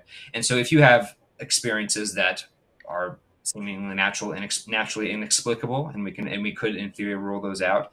And these are involved in a context in which the Virgin, a, a woman appeared who claims to have been the Virgin Mary, who in Zeitun, you know, predicted that I will appear on this church which is dedicated to Mary and only appeared on a church dedicated to Mary, right? That would be perhaps a better inference than the goddess Isis, because if that was the case, it's weird that the goddess Isis would appear on a church to the Virgin Mary and convince people that it was Mary and not correct them. It, that that seems rather strange to me, unless you want to say it's some kind of deceptive thing. So I would say the context in which these occurred, in which Mary claimed it was herself, or at least people who purported seeing her claim that she had told them this, right, in combination with these other factors, would be how we would infer that. And last thing I'll say, because I know I've been talking a long time, is that we do see these kind of inferences with people like when Harry Houdini, who you may know a little bit, um, after he died, he before he died, he had been investigating seances, right? And he showed most of the mediums were using trickery, and he was open to being convinced. And so he had proposed that there was a key word, and that he would die, and his wife would go around to mediums, and people would be like, "Oh, I can communicate with your dead husband." And there was a, like a um, a special key word that she never told anyone. They're saying, "Okay, if you're really talking to to Harry." Tell me what the word is. And so, in theory, if that if the medium had been able to do that, and the conditions were controlled and, and had been successful, then according to Houdini, his wife, that would have been sufficient to convince them that this really was the man they were talking to. Now, that never happened, which seems disconfirming. But the point is, miracles are meant to be those passwords that we would see, those special keys that unlock the door to say, hey, this is from God or this is from a supernatural being. It's not just something else. So that's my long answer to what you had originally asked. Um, I think our wires got crossed there because I'm I'm more addressing the structure of the argument, the the logical fallacy known as false analogies, that you really can't just because things are similar in some sense doesn't actually mean that they are identical, right? Or that one really relates functionally to the other. And that's where I'm trying to go with it is more of just because Mary is involved, just because hmm. the Christian faith is involved, uh, doesn't actually prove that the virgin conception is an historical event. And I would disagree also with the definition or, or this expectation that a miracle is meant for vindication it's just as plausible that miracles, if they were to occur at all, could also be meant to deceive the gullible. We don't have any reason to just assume God is the good guy or that he is just pure good and and uh, rather than why not him be a trickster? Why not him be evil and malicious? Uh, doing these things is a lot of assumptions that come in, and that's the problem. Yeah, so I uh, I don't want to. I mean, by the way, if John or Jimmy has something they want to say as well, I would just say when it comes to the, the last point, I don't want to get too caught up on on metaphysics here. But I would short answer is I would say if you're going to say that God is a prime mover who doesn't have arbitrary limits, right? He has. There's nothing holding him back. I think God would be omniscient, and I think God's omniscience entails that He knows all things, which would mean that He would be perfectly rational, and that would include rationale about morals. And so God would have perfect knowledge of the good and would always want to choose the good. Now that's different model than some other theists would have. It's more, you know, a theistic personalist view, not a classical theist view of good. But under that view, I would say it's entailed that God has to have perfect knowledge of the good given his omniscience. And so I don't even see the idea of a trickster God or a like an evil God to be even be really cogent by that standard uh, on that point. But um, I don't I don't want to get too off topic on that particular point. But yeah, do you have anything to say to that, or does anyone else want to um, to hop into anything that was said there. I, I, I can hop in. Um, I have a couple of comments. Um, the first one is something I really didn't expect to say. Um, but Darren, in your presentation, you began with a slide depicting God seducing Mary and Joseph as a cuckolded husband. And then you followed it up by saying this seems rapey to me even though we have the Virgin Mary explicitly saying in Luke chapter 2, be it done unto me according to your word. So that was consent, which was an issue you raised. You also said Mary sucks at her job. And it's clear that you have a rather high estimation of yourself and not such a high estimation of the feelings of others. But when I heard you say to compare with Mary's consent to her becoming the mother of Jesus, to being rape, I thought, wow, that is not only inaccurate, that's just nasty. And and Uh-oh. I was turned I was turned off by that. I'm sure other people were too.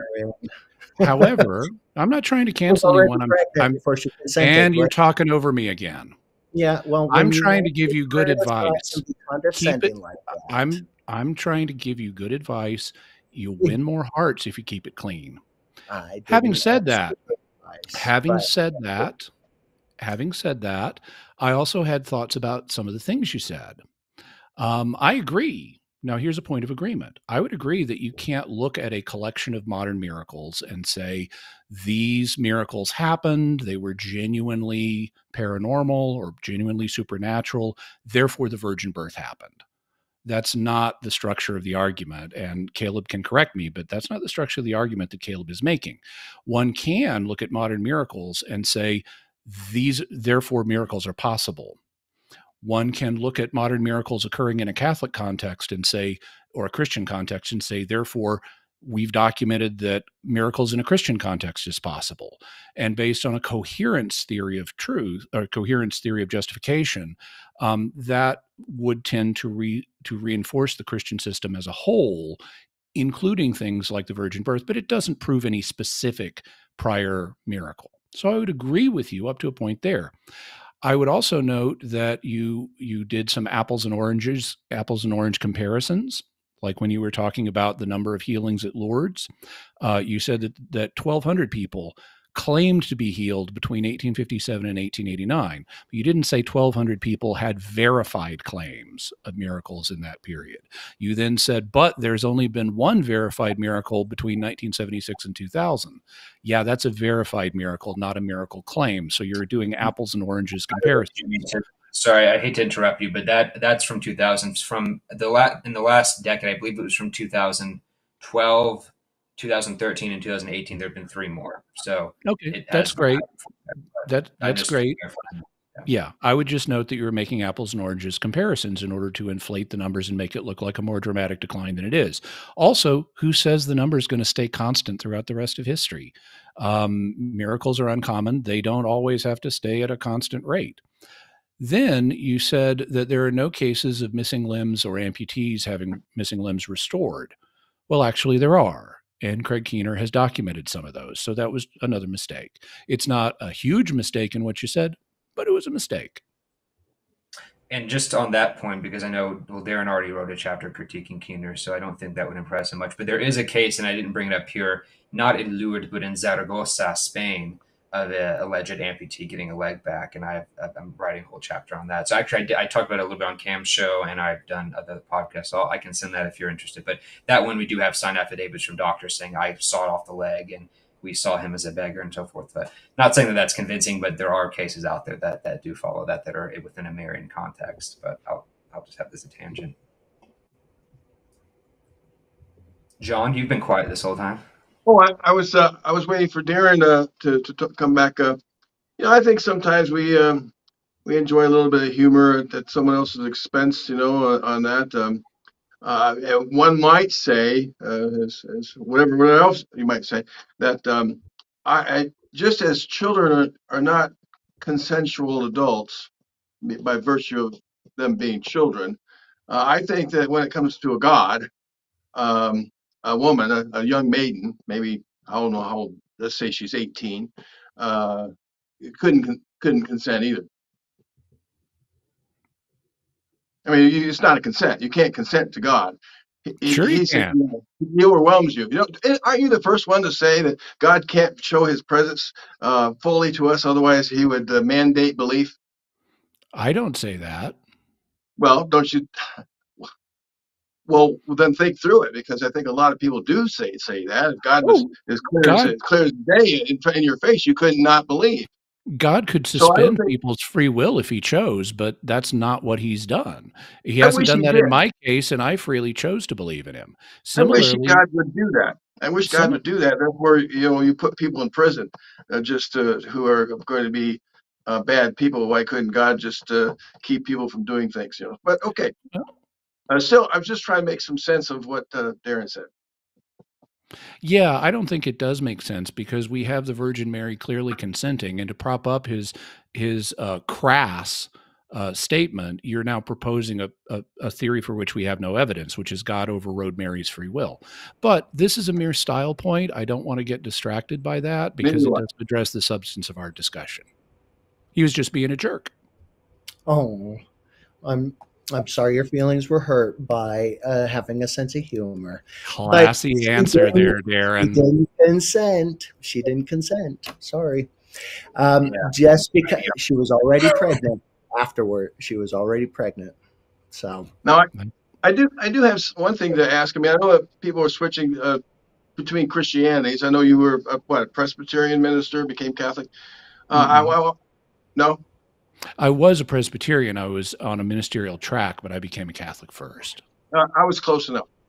Mm-hmm. Uh, do I have to be precise there, uh, or not? No, I was just just, just, answering your question. All right, uh, but uh, you know, I used to you know be a minister in the Protestant faith, and I never really gave any serious credence to any of the Marian miracles. You know, I because it kind of leads credence to the idea that uh, the other ideas that go with it, like she's immaculately conceived and uh, she's uh, to be prayed to. You can get you can pray to, to Mary, and maybe she can get to Jesus, which sounds ludicrous to someone like uh, like me, uh, even now. But uh, I never gave much credence to these Marian miracles, and uh, so I would think that you, trying to convince atheists, non-believers in general, of Marian miracles is, is even harder to do when you can't even create people within their own house, you know, the house of Christianity. Can I just say, John, that I am actually not a Catholic nor Orthodox. I'm non-denominational yeah. Christian. So a lot of people are quite surprised when I defend stuff tell, like this. Tell me more also, about that.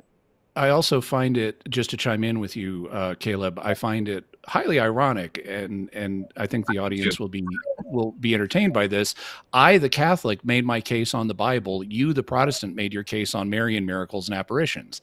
I think yeah. that's ecumenism in action. That go go team ecumenism.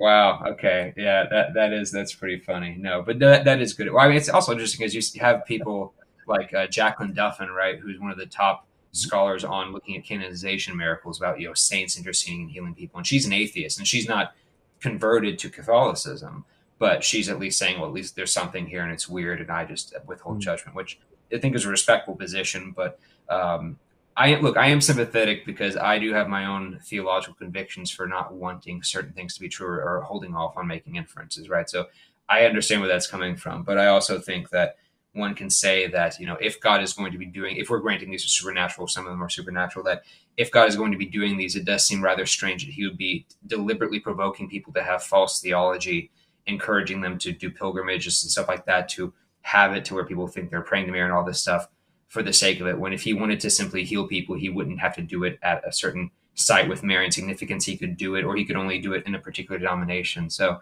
uh, I, I feel like those inferences are, are kind of locked in with the context, and it's hard for me to, to separate that. Uh, did we have? I try to sit, look over it all. Series, uh, uh anyone can chime in if they want, because I'm looking through um, some of these. There well, I would like to get. I would like to get more ahead. of Darren's perspective on like why why he thinks that there's this disconnect between these sort of yeah. Marian miracles apparitions and you know the truth of the virgin birth. So if he could, Darren, if you could just kind of come back on that, share some some more thoughts, and explain yeah. where sure. the disconnect is so, happening. I mean, it, it's a it's a clever way of going of testing a theory, of testing an apologetic, but it really just doesn't hold any water. You can't take one event today and say this demonstrates something in the past or can add credibility to something in the past. Even if I were to grant you, let's say Mary is really the queen of heaven and she comes down, she very well could say, Jimmy, you misunderstood. You completely misinterpreted that the story in Matthew. It's not meant to be historicity. It's or it's meant to be an allegory. Um, there was no virgin birth. That's perfectly plausible. And why I bring that up is because that kind of demonstrates there is no actual functional relationship or correlation between the two. She, we can have ghost sightings all day long.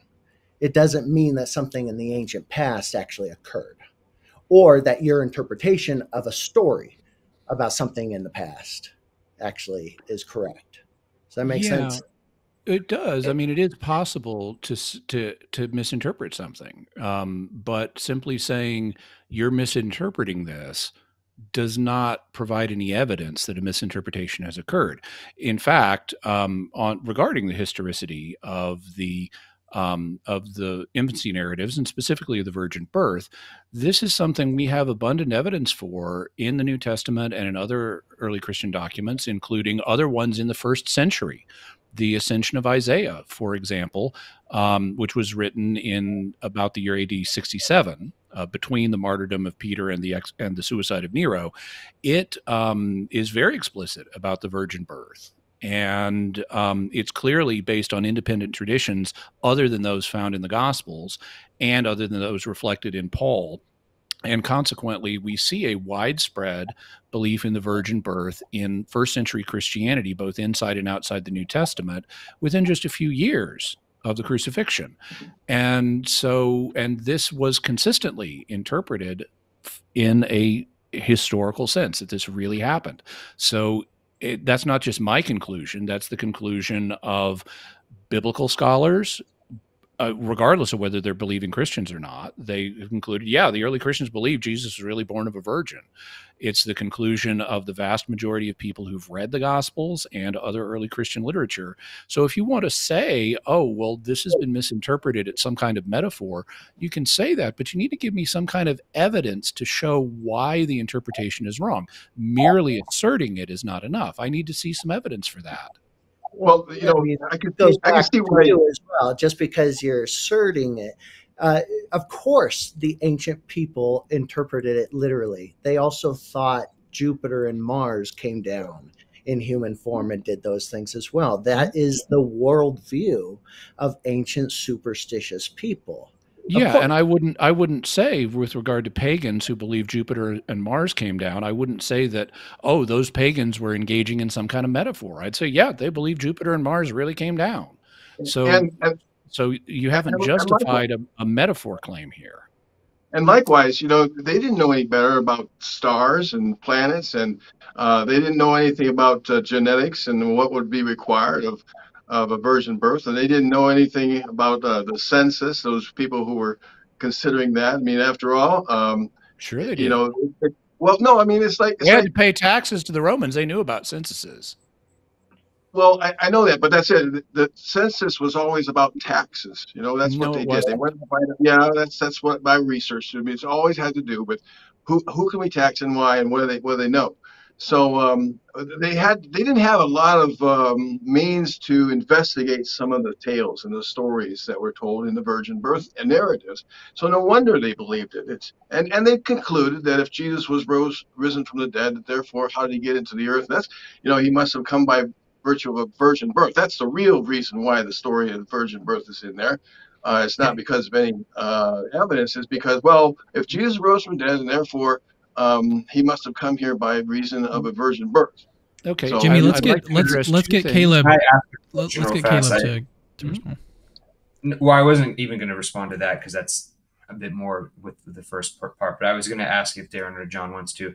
So when it comes to like the retroactive historiography is what I would call it in terms of putting that back on.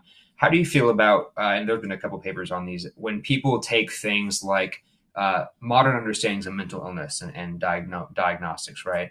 Uh, that are relatively recent historically. And then they try to say, well, look, we can look and see that Caligula, the Caesars had these symptoms. And so it's possible that Caligula had ep- epilepsy or multiple personality disorder. Same thing with Jesus's exorcisms, right? They'll say, well, look, demon possession may have been mental illness back in the day. And so are we, do would you say that that's plausible historically we can do that or are you adverse to doing that in terms of saying we can take modern understandings of things and putting back to say oh demon possession may have been mental illness because there's certain things that we see in common and certain Roman emperors may have had these because we're seeing similar symptoms, or, or would you just be averse to, to, that at all?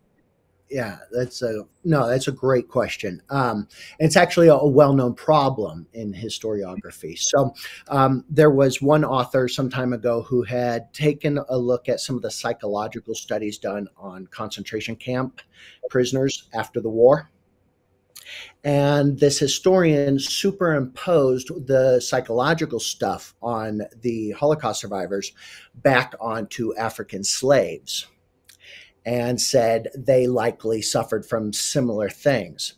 Now, while you can do this in the sense of trying to draw or come up with some theories, you can't say because of the constant what we know from the concentration camps therefore we know this about the african slave trade or the effects of african slavery. Does that make sense? Mm. So yeah it would actually be and, and that author did get a lot of grief about it because it is bad historiography. It is bad methodology yeah, and I, I, I can sympathize with that, especially since mental illness is already hard to diagnose, even when you have a person sitting in front of you, let alone doing it from texts of a person writing secondhand describing someone. So I, I can definitely understand that hesitancy. Although I, I don't see why, in principle, if you if you could draw proper analogies to say people who suffer from these things have these symptoms, and so and that's like what it checked out. I don't. I'm not sure why, in principle, that would be methodologically flawed, but I, I, think actually applying it in the cases we have may be much more difficult because there's so much nuance and so much controversy even within mental health as a general field, let alone doing it on historical figures. But uh, yeah, I, I, guess, but I, I, guess I was just trying to say I feel like there are analogies that we do see people draw in historiography to things, or you'll say, like even earlier we're doing with Jupiter, right? Being that I know that one was contested, but I'm sure there are phenomenon that uh, I'd have to go back and see that people have said, oh, that might have been this star, this might have been this certain phenomenon of wind blowing this thing, and that's why Alexander was able to cross a, a sea at a certain point or something, you know, things like that. So I guess it seems like we can make, I know you use the term analogical inferences. Yes, sometimes analogies can be inapt, but other times analogies are accurate. It really depends on what criteria we need for an accurate analogy. And all I'm trying to say is that, yes, if there was just a general weird supernatural phenomenon, I don't think that alone would be enough to infer anything in particular. But if you have a supernatural phenomenon that we presuming it is supernatural, if you could demonstrate that with a degree of probability, and you could say, okay, what context is this? What is the point? Well, the being that claims to have appeared says, hey, this is me this is my intentions. I don't see why it's implausible to say, oh, maybe that's a good avenue to look at. Let's look at that theory. This being this apparition is proposing, this is what she's here to do. Maybe we should at least take that into consideration, right? All else being equal. So, in Darren's example, if, if an apparition did appear and say, and, and, and it was well evidenced and said the virgin birth is actually not true, and you know, Jehovah's Witnesses are right or something. I know they believe in the virgin birth, but you know, some fringe one. I think we'd have to take that into consideration. I don't think that alone would be uh, enough but it would at least be some evidence, I think, against it, and it would uh, convict me of that. I think, just as if, um, you know, I, have heard people say, uh, I, am not saying that you all are saying this, but I've heard atheists say, well, you know, if, if Christ appeared to me and I could feel it like Thomas, and then I would believe. It's like, oh, so if you if Christ appeared to you today and show you, does that mean that therefore he rose from the dead two thousand years ago and that those stories are true? Even if Jesus appeared to you and say, hey, this is true, touch me, feel me, a lot of people seem to think that that would be persuasive. So maybe you all aren't of that ilk. I don't want to presume that, but uh, I, I, I guess it just doesn't seem to me like that's a bad inference to make. Well, it's not. It's not about being hyper skeptical, and it's not about always just creeping on any evidence or anything like that. But there does need to be a healthy dose of skepticism people are gullible and that's where i think the kernel of the problem here is that you want to assume that the Marian apparitions are valid and that the interpretation is valid. So even if I were to grant you that the Marian apparitions are some kind of supernatural thing, uh, or maybe we should say extra normal thing, right? Sure. Yeah. Doesn't actually mean that it is connected to the Virgin Mary in any way. Why not? have it be an ancient Egyptian goddess? Why not it make why not it be parallel universes or extraterrestrials or overlords, right? I have it's, an answer to that question. well, let, let's let Darren finish his thought. Yeah, sure. Yeah. It's the it's the interpretation that I think starts mm-hmm. to unravel. Go for it. But, hold on, just for yeah. Jimmy goes though. But if the being gives, if the being tells you, "Hey, this is the interpretation," like in Lourdes, "I am the Immaculate Conception," I am this would that not at least push the needle a little bit into thinking that? I know you said it could be a deceptive spirit, right? And that would be something we'd have to look at. But is that not at least a de facto kind of default one of saying, okay, this is what this being is saying it is? Maybe we could look at that hypothesis. Yeah, uh, and these are hypotheses, right? And they need to be tested, and that's what is not happening. And uh, you choose a hypothesis based off of what is internally coherent, consistent with known facts and has the best explanatory power. And I don't think the Catholic interpretation of those apparitions um, hold water compared to a lot of the other more natural explanations.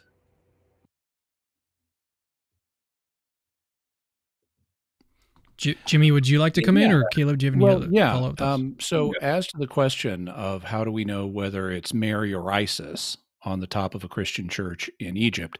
Um, I would recommend a principle from philosophy known as phenomenal conservatism. Phenomenal conservatism is um, the principle that the appearances need to be taken at face value until such evidence, until such time as evidence emerges that they should be taken in a different sense. Um, this is actually a fundamental principle of rational thinking. Um, it doesn't hold the appearances as absolutes, but it does say you need to start with how something appears until you get evidence it should be taken another way. So, for example, if you come home and there's a woman there who appears to be your wife, you should assume it's your wife until such time as you get evidence that it's actually an evil twin who has knocked out your wife and tied her up in the closet.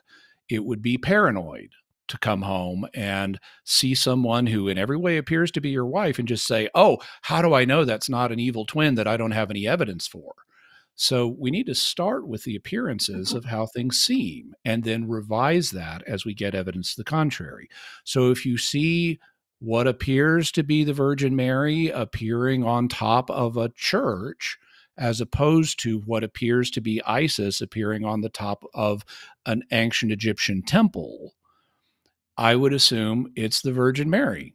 We, until such time as I get evidence that it's Isis or someone else. Same way, if someone says, Hi, my name is Bob Smith, I'm going to assume that person is Bob Smith until I get evidence that they were lying. And if someone, if an apparition shows up and says, Hi, I'm the Immaculate Conception, I'm going to assume it's the Virgin Mary until I get evidence to the contrary. So I'm not saying you can't get evidence to the contrary, but I am saying you should start with the assumption that things are how they are appear until you get evidence to overcome that appearance. And just to add on to that, Jimmy, real fast, sorry, is that I would also po- just point out because you what you said was correct in terms of the thing that you probably know this as well, Jimmy. That uh, when the church was originally built in the, I think it was in the twenties, uh, Ibrahim uh, had a had a vision or a dream in which he he claimed the Virgin Mary appeared to him, saying, "Hey, don't build a hotel here, build a church here, and I'll reward the miracle." So we have in the context as well someone who built the building in which these phenomenon occurred, saying, "Hey, the Virgin Mary appeared to me, said that she was going to do something," and then we see Did weird stuff happening that, right? So you could, I mean, of course, and of course, look, the natural hypothesis is going to be, well, that creates social expectation. So we would have to look at that. I'm not saying that proves it, but within the context, that would be relevant. And you also don't see because Mary is a very revered figure in Islam, right? Which is what Egypt is the majority Muslim. But you know, I, it is curious that you never see uh, this happen on top of a uh, of a mosque. It was always on top of a of an Coptic church. And this is also not the only time that it's happened. There's I think seven other apparitions in Egypt from 1970s to I think the most recent one was 2009 in Warraq. So it's it's a weird trend to see weird lights appearing on top of churches with power cut and so forth, and no projection device found, and people thinking it's the Virgin Mary uh, routinely in Egypt, a country which believes and reveres Mary as having crossed through there to have Jesus during you know the virgin birth and fleeing Herod. So I'll just point that out as well. Well, well from my perspective, uh, you know, human beings are believing creatures. I mean, they, they believe a lot. Uh, they, they don't really uh, subject things to skepticism very often. They're, they're made uh, in such a way, I mean, they, they've evolved in such a way that it's better to believe because you can stay within your tribal uh, communities and being in your tribal communities provides safety. So we have to develop the tools of skepticism. We have to maybe um, uh, suffer from a scam artist, and all of a sudden uh, it raises our awareness that we need to uh, be more skeptical. But sometimes just by looking at and around and, and, and studying the world religions and the things that people are believing and, and have believed and will believe uh, with no evidence at all for them that you know it's it's um, it's something that we need to be concerned about when we uh, discuss this issue. Now, just consider, for instance, uh, Elvis still receives sightings. No, no, serious. Uh, now, some of them might be just lies and you know just trying to like make make people laugh. But there are all kinds of things that people are believing. If you have a, if you're a fan of something, if you if you really revere something or someone or some idea, uh, there's a lot of people who will develop fantasies about them, and they they will see things and, and hear things, and then uh, it's it's uh we we have to be skeptical about these things. And I know that Caleb, you want to be. You, made a pretty good presentation there, no doubt. But um, it, it, doesn't prove anything like Darren is saying. It's just it doesn't prove much about the texts of the New Testament, which I've shown uh, didn't have any evidence for. Mean, you can continue believing despite the evidence. And you go back and look at my PowerPoint. I'll publish something on my blog debunking Christianity, which have links to all these kinds of things. But uh, we have to be skeptical about these sorts of things more than than most people are. I would agree that we need to be skeptical in the sense of using critical thinking. We all need to do that. Which is essentially a way of fighting confirmation bias. Confirmation bias is something that all human beings have, and we need to fight that, and that's important. Um, by the way, since you mentioned your blog, I'll mention that I have material responding to your uh, claims um, regarding the infancy narratives on my blog at jimmyakin.com slash bart where i have a whole bunch of things that i wrote responding to bart ehrman on the reliability of the New Testament, and they cover the same ground. So I'd recommend that.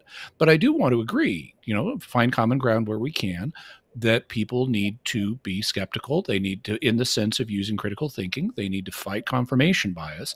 One thing I would differ on, though, is you've made several statements about people having no evidence for something.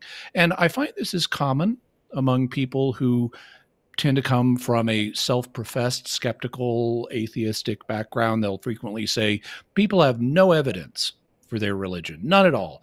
And I, I, I have to say that I think that's inaccurate and also a hasty generalization. I would not say that about people, including people who have religions that are different than mine. I would not say that a Muslim has no evidence for Islam. I would say the evidence, if I looked at it, wouldn't probably wouldn't convince me. But I'm not going to say he has no evidence. If if I'm uh, thinking about a Hindu, I'm not going to say a Hindu has no evidence for Hinduism, because there are elements of truth in Hinduism, and you can have evidence for elements of truth. I wouldn't say that an atheist has no evidence for his view. I might not agree with the conclusions he draws based on that evidence, but I wouldn't cavalierly say that people who have other religions than mine have no evidence for their views. Well, I don't. I don't say that about everyone. I, I said mm-hmm. some people. I think, and if I didn't, I'm going to okay. say now. Some people have no no evidence.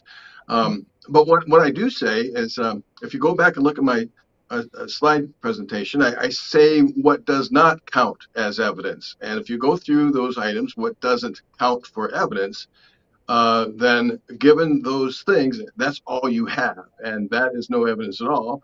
So um, in my in my case, since I've studied Christianity, and, and now philosophical, that's something else. But philosophical proofs show nothing about the uh, the, resurrection of Jesus or, or the virgin birth. I mean, you could have philosophically, you could have a belief in God, but that God has to have some evidence for him, and the only way we can find evidence for his existence is the evidence of, say, the Bible and, and any corroborating evidence in history.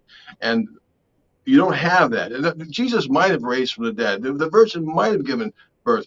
But my point is that given what we see in the New Testament documents, Mary being the only person, think about how how anyone could actually research into Mary's claim. I mean, you, you can't. It has to have been given by inspiration. You have to believe that there's no evidence. I know. I'm, I'm, I'm giving you a, a you know a, a, something.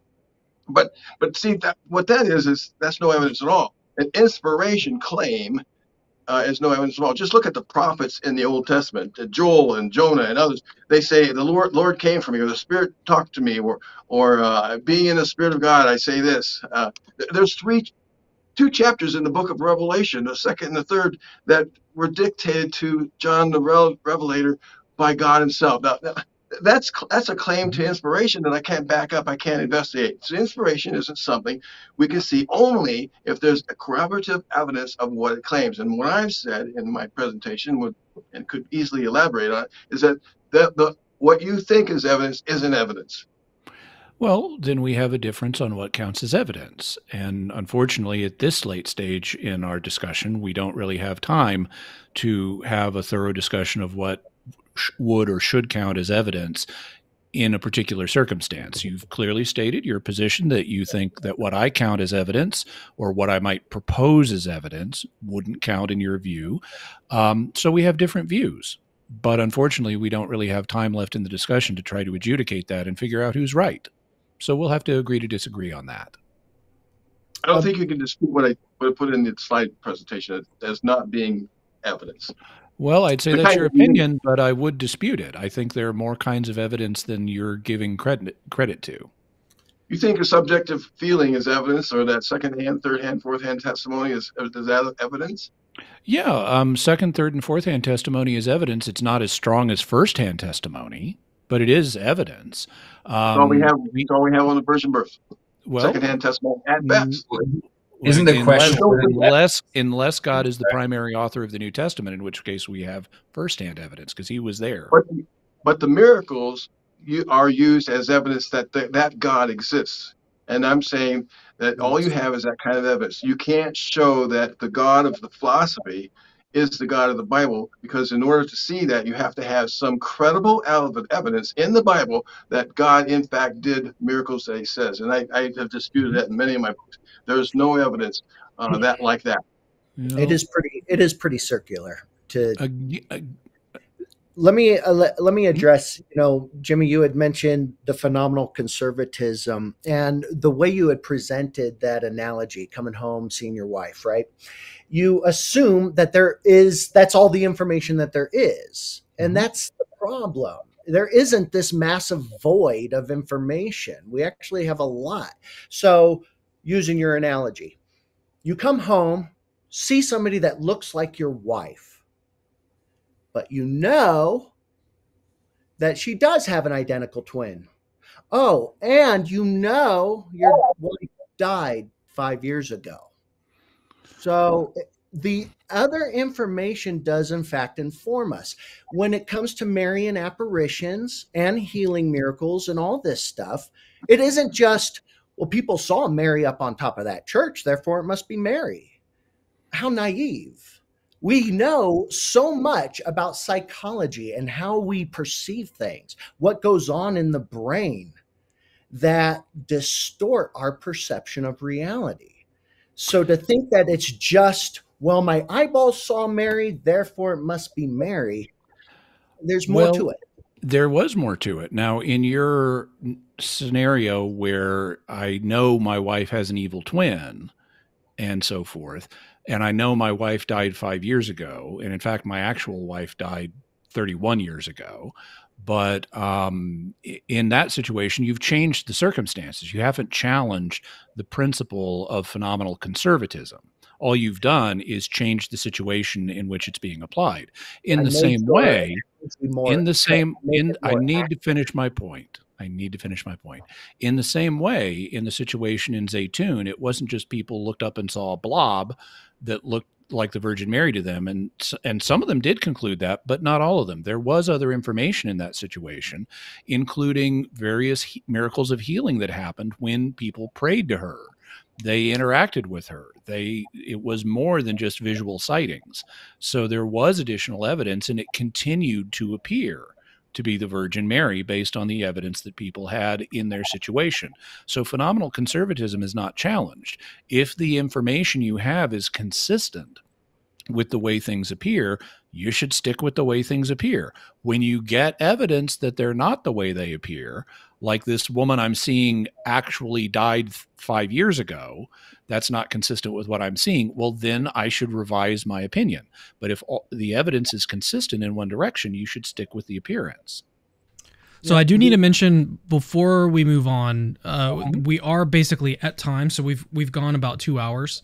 So we have at this point uh, a chance to wrap things up. We could go a little bit longer because we haven't had too many questions uh, sent in so far. So that time that we were putting aside to to do some Q and A with the audience, um, since we haven't got a whole lot of questions come in, we could just do uh, sort of extend the debate a little bit, just talk a little bit longer, or we could transition at this point into some brief, you know, off the top of your head closing statements that we could, uh, and then we could sort of wrap things up. So I'm gonna I'm gonna leave it to you guys. Would you rather would you prefer to extend the debate, kind of wrap things up? What would you guys like to do? Are we excluding the possibility of taking questions from the listeners? Well, I, I did mention that. I did mention that earlier. Um, we just mm-hmm. haven't. I've been keeping an eye on the live chat. I just haven't seen a whole lot of questions come in. Now, having mm-hmm. said that, we could start to to get a whole bunch of questions come through. So it that is a possibility, but um, mm-hmm. it's up to you guys what you'd like to do. And if you do send questions, please address who it's for, unless you want to say it's for one side, because there's also four of us, and that could get kind of confusing. Know, Cameron, do you have any questions listening to this in terms that came to your mind on either side? I know you're moderating um, here, not yes. But. Yeah, I, am doing my best to to stay out of it um, as as much as I can. the The thing that really interested me uh, toward toward the end here is this this sort of I forget the term that you used, Caleb, where uh, the retroactive historiography. historiography. Yeah. Yeah. I think I made um, yeah, that that to me is is a sort of open question in my mind. Like, uh, if we can use these modern miracles to affirm something like the the virgin birth, I think that the. I mean, I'd like to hear more back and forth on that specific topic, but mm-hmm. that's I don't really have a, like a question that I could ask to sort of set you guys up. But yeah. well, I think that's what um, I, mean, I, I find that pretty fascinating. That's 15 minutes about phenomenological conservatism in terms of making those I, I don't know what else we can really say that hasn't been said unless one unless someone else has another point. Um, yeah, well, yeah, it would it would ju- we would just have to sort of extend the debate a little bit. Well, let's do this. I mean, it sounds like you guys are are cool with uh with sticking with us for for a little bit longer. So let me just invite the audience. If you have a, a question, you can send it as a super chat if you'd like. You don't have to. That's definitely not a, a, necessity in order to have your your question asked tonight. But if we do start to get some questions in, then we can put them on the screen and get some uh, some interaction from the debaters tonight. And uh, as Caleb mentioned, it would be helpful if you addressed who your question is addressed to, whether it be Jimmy, Caleb, John, or Darren. So uh, please specify in your comment who your question is addressed to. And uh, we'll, we'll take some of those. But in the meantime, while we're waiting on those questions to, uh, to come in, I'll turn it back over to you guys. I think Jimmy, was it you that was about to to respond, or was it Darren? Oh, or, I, well, I I've I've lost several threads uh, over the course of the evening. I think that we likely all have. Um, the I I did have a thought where I could ask um, where I could ask Caleb and see how his view on on um, use of modern miracles compares to support historical systems compares to my view.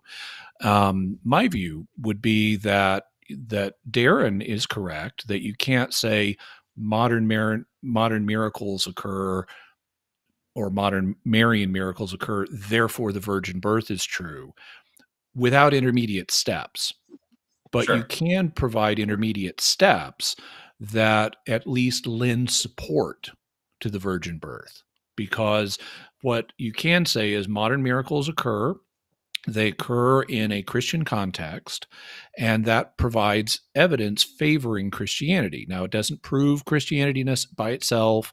It, you'd have to look at other religions and what miracles they have too, but it at least provides evidence supporting Christianity. And one of the one of the claims of Christianity is that the virgin birth occurred, and therefore, if you have evidence in the form of miracles that supports Christianity, and Christianity claims the virgin birth occurred, then transitively, that evidence would support the virgin birth in an indirect manner. So this is a of justification where you have different ideas that cohere Jimmy, with you, each Jimmy, you cut out for a second, and it looks like your video is is actually paused. Are you there? Uh oh. Uh oh. We we may have to just wait for him to uh, to come back. It looks like it might be a a connection issue. We did actually have a, a super chat come in, but it's addressed to Jimmy.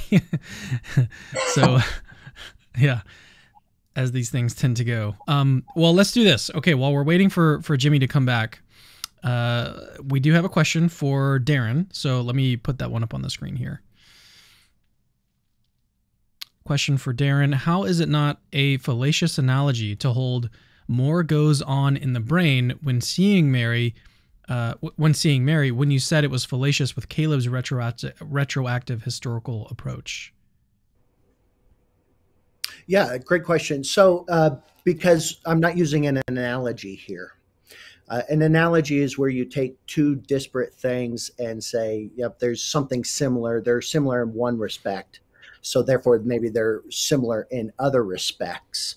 Uh, the image uh, the what we know about the brain neuroscience psychology all that kind of stuff is just simple hard evidence that we have about how humans operate. So i'm not making a comparison. I'm saying this needs to be considered when we are talking about ghost sightings, alien sightings, or the millions of other miracles that are claimed all over the world for a whole bunch of different religions. We need to consider other factors first before we make the leap to, you know, Mary came back. Can I just so, ask for clarification though? Because I, I understand that, but is I, I was under the presumption that in this dialogue we were granting, for the sake of argument, if we could demonstrate that these were likely supernatural, then inferring the specifics, like which you know which god is it or something like that. But it seems like in this question, it's can you know how do we infer supernatural? It could be hysteria, it could be cognitive biases, and all these things, which I agree are an issue that would have to be addressed. But I had presumed for the sake of discussion, we were assuming that all of that was addressed, and we were just getting into the aspects of what kind of supernatural thing that is. Now, if, if Darren is saying that those cognitive roles still inhibit that inference as well, then I understand that if that was his point. Yeah. Just, just to uh, jump no, in on that, I would I would agree that uh, with Darren um, and with Caleb, because I think they're on the same page regarding this, that yeah. naturalistic explanations have to be looked at first mm-hmm. before you conclude that something is supernatural. I actually happen to be trained. I mean, I've taken classes in paranormal investigations and I'm actually certified as a paranormal investigator. And one of the things that's hammered home when you're training in this field is make a list of every possible natural explanation and go through those first before you conclude that something is paranormal or supernatural. So I think that's actually a common principle that both uh, that both Caleb and I would agree with, and I suspect that John and uh, Darren would agree with that natural explanations need to be considered, and they need to be considered first before you go to a more mm-hmm. exotic interpretation of an event. Jimmy, I I uh, know Joe Nickell. Uh, you may. Uh, oh uh, yeah. More, he's a paranormal investigator as well. Good guy. Wrote a chapter for me on the uh, Turin Shroud. Uh-huh. Uh, but I heard him lecture too, and I remember uh, he he was he was saying simply, "I'm investigating these things, and sometimes I can cl- conclude some things, and other times I have to say I don't know." So mm-hmm. uh, that also uh, is an option for you, right? I mean, sometimes you just simply say, uh, at what point do you cross over from the I don't know to it must be a miracle? I think, well, I think that it's going to depend on the framework that you're coming from. If you have, uh, if you are genuinely open to the idea of the miraculous, to saying, to drawing the conclusion something's miraculous, and you've eliminated every other explanation, then you don't really have a reason holding you back from saying, okay, therefore it must be a miracle. Whereas if you and Joe comes from, I, I, appreciate Joe. I appreciate the work he does. I agree with him on on quite a number of things. But Joe comes from a skeptical viewpoint of a type where he, Joe Nickell, where he wouldn't be comfortable saying to his skeptical audience, I mean, you know, he writes for the Skeptical Inquirer and so forth, saying, I encountered a real miracle. He's coming from a framework that kind of excludes the possibility of acknowledging something as a miracle. And so if he's eliminated every other possible explanation, he would tend to say, I don't know. Um, yeah. And so I think it really depends on are you open to identifying something as a miracle or are you not open to identifying and, and like, as a miracle? And like and likewise with you, are mm-hmm. you open to the possibility that um, the evidence, if there were any evidence of a miracle uh, that you're investigating, if the, the evidence is no longer there or missing, or perhaps it got uh, run over by a truck or you know got thrown away yeah. in the trash, are you open no. to the fact that there, mm-hmm. yeah. Yeah, I'm, if, if I if I don't have if someone says a miracle happened in the year 1503, but all the documentation has been lost, well, then I'm not going to conclude a miracle happened in the year 1503 because I don't have any any basis for it. I would distinguish that from the case of the um, of the virgin birth, where I mount a theological argument for the virgin birth. Um, but I wouldn't hold up the virgin birth to you and say, here's a bunch of non theological evidence for it. The evidence I offer for it is theological. I acknowledge that right up front. So if you don't count theological evidence for one reason or another as actual evidence, I understand why you don't believe in it. I think that I think that that doesn't affect the case I made if you if you don't look at the evidence I have to offer, but I understand why you why you would come to a different conclusion. Like I said in my opening slide, what you make of the virgin birth is going to depend on what perspective you're coming from. Uh, okay, I'd, I'd like to. Uh, I know that we could probably go further on this, but I'd like to get to some more questions because we have had yeah. questions come in now. So uh, cool. let's get to some uh, some comments and questions from people. There was actually one uh, for well, there's a couple for Jimmy, but this one was sent in earlier from Mr. Greeny. He says, uh, "What microphone, Jimmy? What microphone do you use, and would you be willing to give Darren one for Christmas?" uh, it's an Audio Technica microphone, and um, if I don't have access to Darren's stocking, but um, I'm I I I'm not prepared to say no at this point. I don't know how shipping works with being this close to Christmas. I will say though that before we we went on air, I think John may need the new microphone because he was having some issues and he's on his phone now. So oh I, I, think if goodness, yeah. so. Yeah, he's actually using his phone, and his, I mean that's the thing about phones is that they look great. So like your your feed probably looks the best out of everyone's here, even though you're using your phone. Um, yeah. Let's move. Okay, so uh, we did have a super chat come in from Drama Llama, uh, and this one is a clarifying question uh, for Jimmy. Did Jimmy say that miracles in other religions, such as Hinduism, could be true, or did I misunderstand what he said? Well, methodologically, I don't exclude um, a, a, a, a miracle is a wonder. It's something that it that exceeds what you would expect from nature, and I don't I, I, there's no reason to think that that miracles only occur in the context of Christianity. In fact, if you read the Bible, it talks about you know miracles occurring in other religious contexts. It may say they're they're lying wonders, they're lying miracles that are meant to mislead, but that doesn't mean they don't happen. Furthermore, I don't exclude the idea that God does mir- the true God does miracles in other religions. He loves all of his children, and that includes all of us. So if someone in in India is sick and dying and praying to Shiva to be healed. Well, I don't think Shiva is the true God, but God loves that person and God may heal that person. And so, um, so I don't dismiss automatically miracles or other paranormal phenomena just because they're not occurring in a Christian context. Now, you know the problem with that. You know the problem with that, uh, Jimmy, is that if God does miracles for other religions, let's say Islam, then uh, the people who receive those miracles will take it that Allah exists. And well, Allah does have, exist. No, he doesn't. He oh, yeah, he does. Allah is just the Arabic religion. word for God. They worship the creator of the universe who appeared to Abraham. Which is that miracles equal validation. Yes. Uh, in a lot of ways. And so that's, I think, what John's trying to get at. Yeah. Miracles. Yeah, actually, mm-hmm. Go ahead, Jimmy. Can finish your point.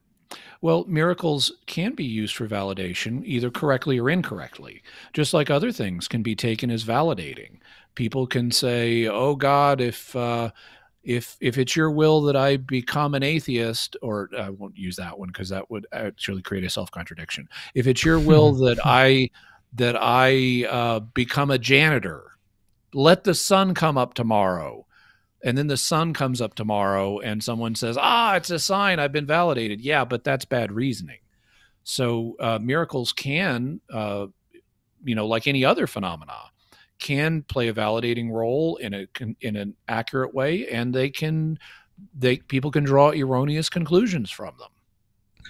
So i was going to say to push back on that a little bit because i agree with some of that but that does kind of stick a thorn into the case i was making right in terms of this so in the mm-hmm. presentation, I was rushing through it towards the end there, but I think the three main aspects I was looking at with the miracle claim are the quality of the evidence. And I would say that generally speaking, the evidence for Christian miracles and, and J. Marian claims are superior in terms of number of witnesses and documentation, medical stuff. And a lot of that is because the Western world simply has better documentation than in a lot of these countries like India and sub-Saharan Africa. You're just not going to get proper documentation on like a medical level, unfortunately. So I, I, I, understand there's a sampling bias there to an extent, but it is still a quality of evidence. And if God really, really wanted to vindicate another religion, I, I don't doubt that he could he could surpass that. So I would say quality is relevant in one way, and if you do have competing religious claims, I would my hypothesis would predict, and this is where I, I think it would be nice to get into models of prediction here that if Christianity is true and you had competing miracles, that Christian miracles w- would win out. In other words, mm-hmm. if a Christian Mary, a, uh, Christian missionary goes to India and there's an Indian guru, um, that the Christian missionary, if, if they're healing, let's say they're Pentecostal, that that'll be more effective and draw more people to Christianity than it would be for the Hindu to draw people to to, uh, to, Hinduism. So I do think there's also an element of conversion there and evangelism.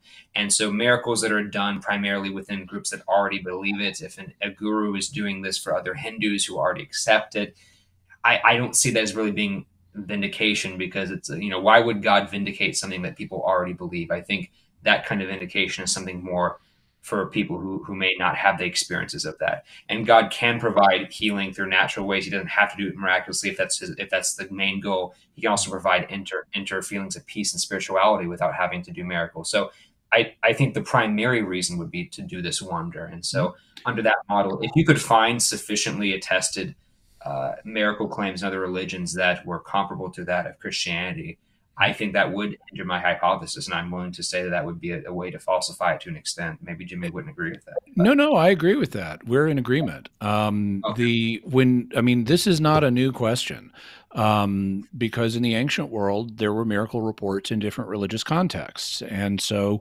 um, how did the authors of the Bible handle that? Well, they compared the miracles. So when you have Moses sent to uh, Pharaoh, Pharaoh's ma- magicians duplicate the initial miracles that Moses does. And then Moses continues to perform other miracles that trump what the magicians of Pharaoh were able to do. And that provides evidence for Moses having the superior uh, religion in this case. In the same way, when later on in the Old Testament, when you have Elijah, Elijah versus the prophets of Baal, they have a miracle competition uh, to settle who is God. Is it Yahweh or is it Baal?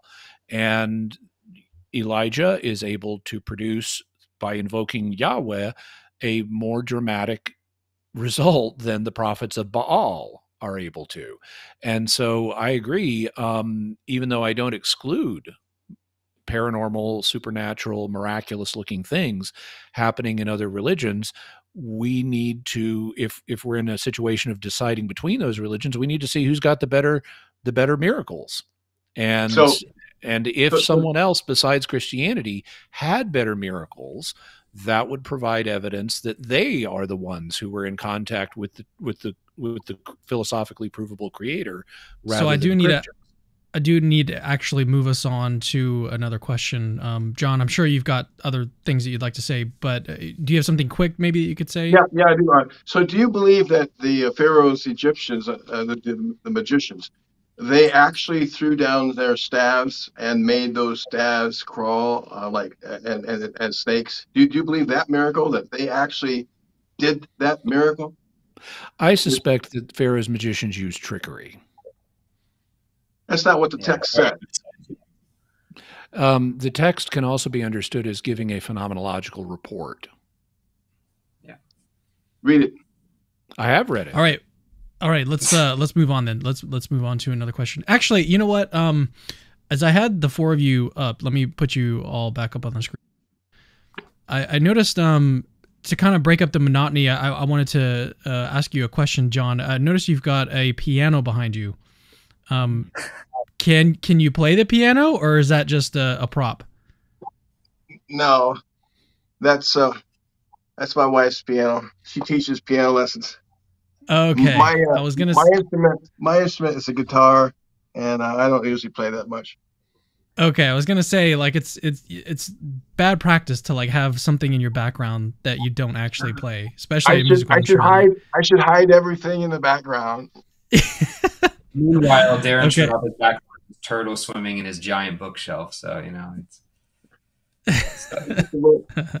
a lot of people have actually commented on uh, on Darren's uh, uh, aquarium back there, saying that it's like it's actually pretty soothing. So, all right, let's uh, let's move on to to another question. We, this one is from. We actually have some really interesting questions. That's kind of why I, I want to push things along here. So, from Ramada Driver, question: If we shouldn't evaluate the mental health of historical figures, why do skeptics accuse Paul of hallucinating uh, without direct therapy records?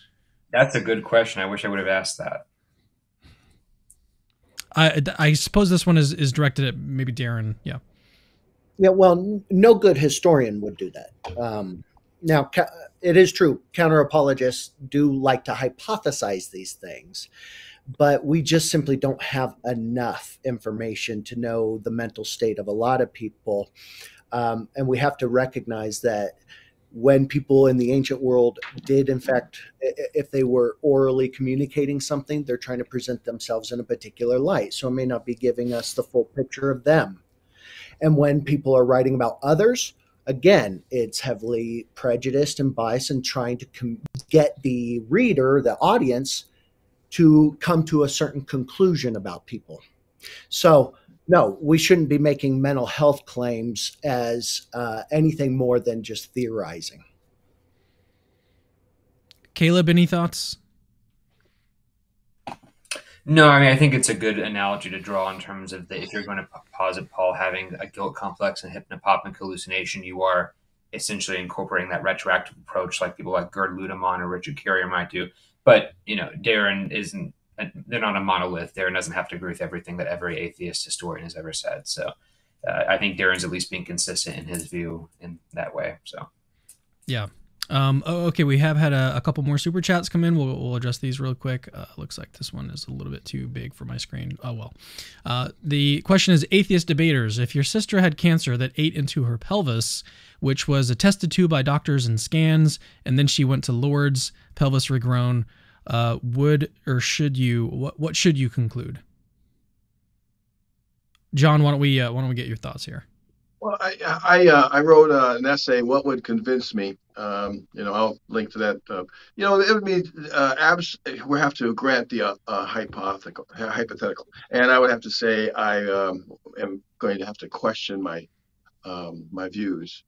Um, but I'm not so sure that I could still adopt uh, the God that we find in the Bible. He's pretty barbaric. He accepted child sacrifice. You know, he was misogynistic, um, and uh, he he required belief unto salvation, or you would be punished eternally somehow for it, including the virgin birth of Mary, which has no evidence for it. So I I still have trouble believing, but it would certainly um, cause me to question.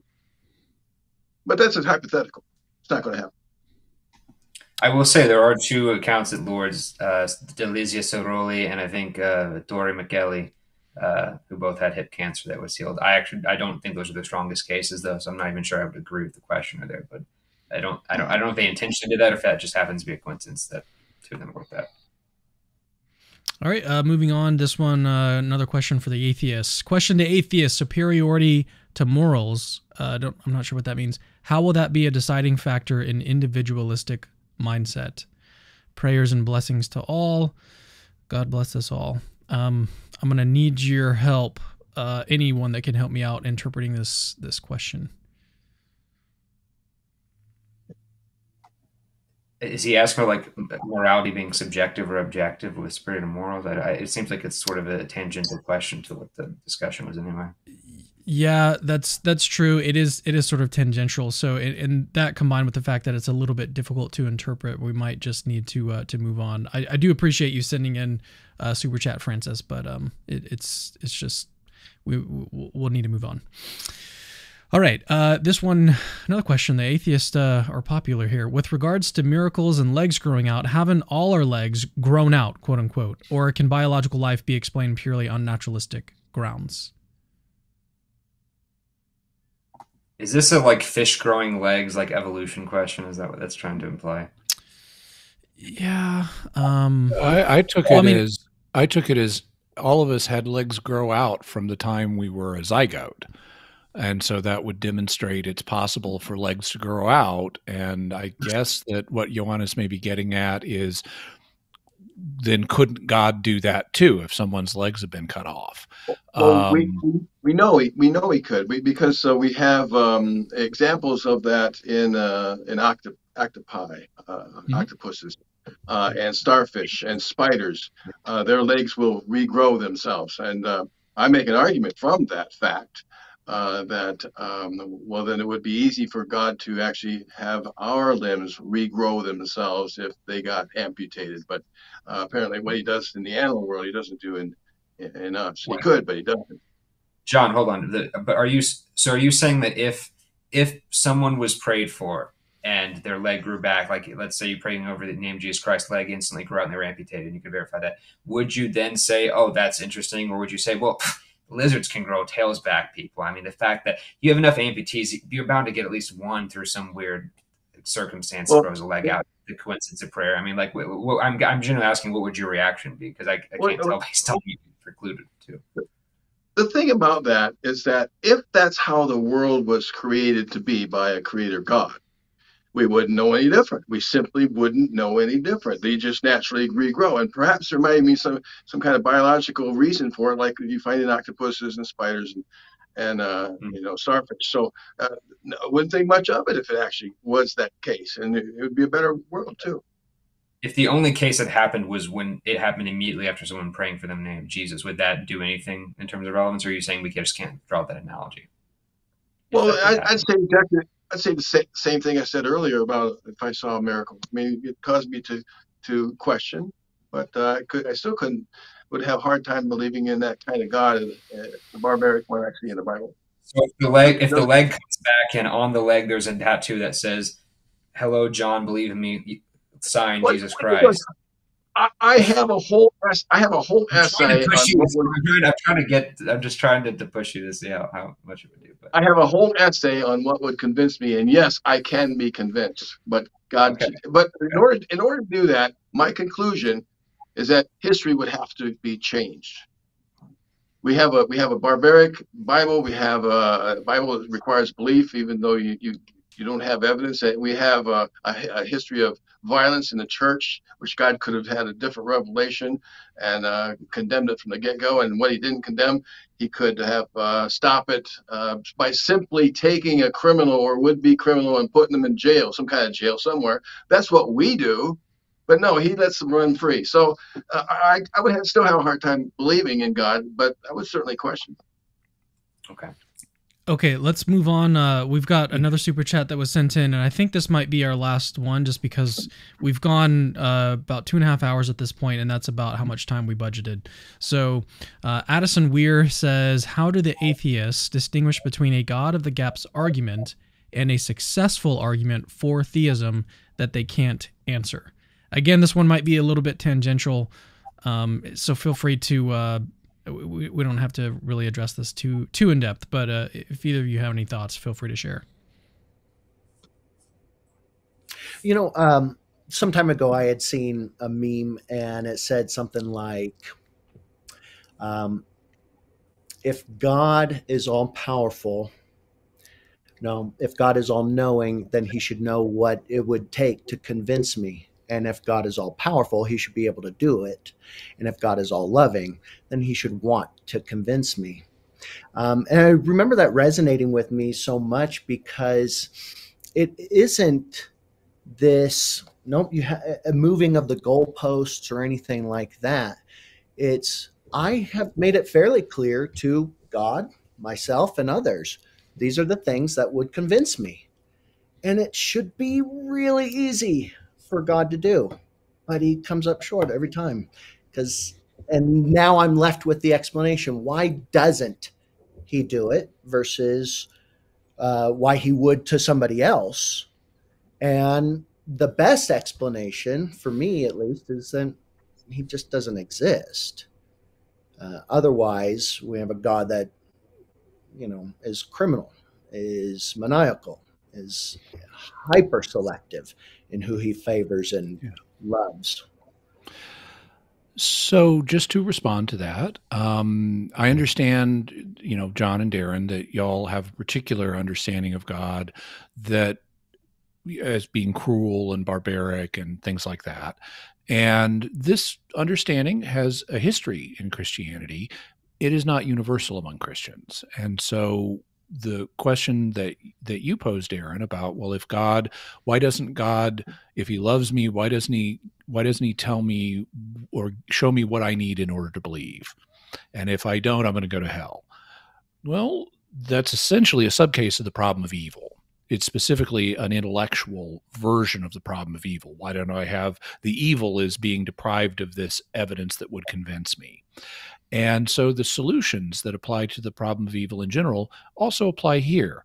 Um, you know, we don't have time because of how late it is right now to go through them.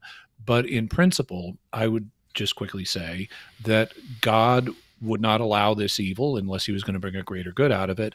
And God will not hold you accountable for things that are not your fault. So if if you're not a believer through no fault of your own, he's not going to hold you accountable for things that are not your fault. That's a different understanding than the fundamentalist conception of God that says absolutely everyone who's not an explicit Christian is going to burn in hell. But it is a position that's common among Christians, including among Catholics. It's actually the official teaching of the Catholic Church. So if you're ever thinking about religious options, you might consider that.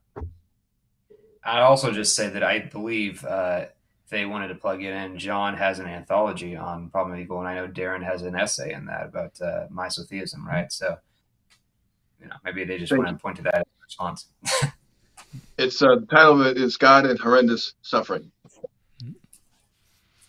All right, let's do this. Let's move to some closing statements, and uh, I think nope. I've got a way that we can uh, we can do this quickly because we have been going for for quite a while now. So uh, I want to pick yeah. a representative from each group to uh, to give a closing statement, and I think we should go with the people that are on the thumbnail. So Jimmy, you can be the Christian representative, and then John, you can be the atheist representative, and just share some closing thoughts. I mean, this is this is going to be off the cuff. I didn't ask you guys to prepare any closing remarks or anything, so feel free to summarize your thoughts so far uh, about the debate, and then just any any closing thoughts, uh, and take about if you can about two minutes. We'll try to keep it short, and uh, yeah, let's uh, let's start with Jimmy though. Okay. Well, I uh, I'm pleased that you know over the course of the debate, even though we had a somewhat rocky start, we've been able to at least achieve uh, com- discovery of some common ground on on a number of issues. We're not as far apart as it might have appeared at the beginning of the debate, but we do have differences. Um, I understand the concerns, for example, that uh, John raised regarding the virgin birth, and I think those have answers. Unfortunately, we don't have time for them. Um, you know, we haven't had time for them, and we've had a vigorous discussion on a variety of different points. But you know, he's written other things about them. I've written other things about the same topics, and I'd suggest that people check out both of what we've written, either on his website, Debunking Christianity, or at my website, jimmyakin.com. Um, when it comes to the argument that I presented for the virgin birth, it is a logically valid argument. And therefore, the only way for its conclusion that the virgin birth is true to not be true is for one or more of the premises to be uh, false. And I, I, unfortunately, I don't think that uh, that John showed that any of the premises are false he could easily say, well, I didn't have time to, or I didn't have enough time to consider the argument in depth. And I understand all those things. Debates are never conclusive, but I he he wanted to debate this topic. Wasn't my preferred topic, but I was happy to say, well, here's why I believe in the virgin birth in a logically rigorous form, so that that would at least provide us with some kind of framework as opposed to, you know, mentioning various other issues. All right, let's turn to. It looks like Caleb just completely abandoned us. No, I'm sure uh, he'll be back. He just had to step away. I'm sure.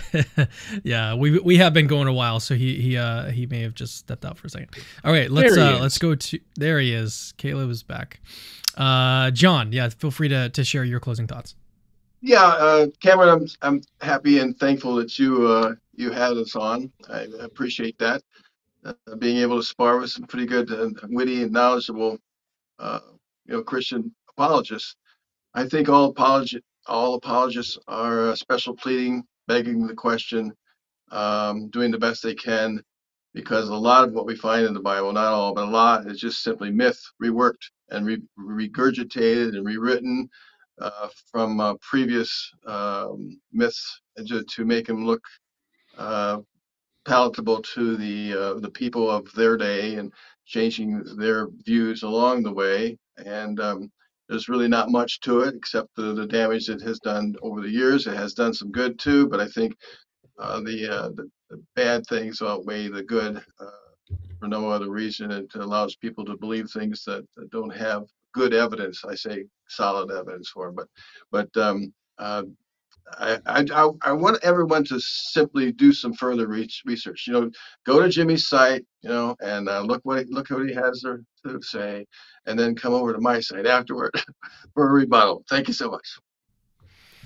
All right. Well, uh, last thing to say is just uh, thank you guys for for spending your your evening with me. Thank you for preparing. This has been uh, a couple months at least in in uh, preparing for this, and so uh, really appreciate you taking the time to put your presentations together and and again just the hours spent here with me and, and talking about this uh, this really interesting and important issue. I mean, I don't even know like maybe Caleb or, or, I don't know if, if anyone knows of any other debates. Like I don't know of any uh, debates on this topic at this depth. So I think this might be a first. I don't know. Yeah, which is why you should subscribe and hit that like button for Capturing Christianity if you want more exclusive content. Right? Run that plug in there for you. There oh, you and go. I just I should have mentioned that. I, I just I want to wish uh, everybody a uh, a Merry Christmas. In other words, happy celebration of the virgin birth and to our atheist friends, a most sincere have a great day. yeah. Our thoughts are with you, atheists out there watching and and the, oh, I, I like the celebrations. I like the presents and the and the, the, holidays. You get to go out eat, eat a few more times and see people. I love that. Yeah, yeah. Christmas is a great time. Christmas. Uh, well, thank you. No, for for real. Thank you guys for for joining me. Thank you for watching. Yeah, subscribe if you'd like to support the channel uh, feel free to become a patron. Links to that are in the description. You also get cool things and perks in, in return and everything. But uh, yeah, really appreciate you guys tuning in. Thanks to our debaters one last time. See you guys in the next video. Hey, it's me again. Uh, actually, don't leave yet. I've got something super, super important to tell you. So first of all, you're awesome. Like you, you just watched a really, really long video just now, and you're still watching it. That is actually pretty amazing. Secondly, we have hundreds, literally hundreds, of other apologetics related videos for you to watch on our channel. Go check them out. I've interviewed exorcists, hosted debates between Christians and atheists. I've even made response videos to atheists. All of that is available on our channel. Go check it out. Third, I rely on people that see value in my work, people like you that watch videos to the very end, to keep the lights on around here. Literally, this is how I feed my family. So if you see value in the work that I do, please consider supporting this ministry and becoming a patron. Links to that are in the description. Oh, and uh, have I mentioned that Christianity is true?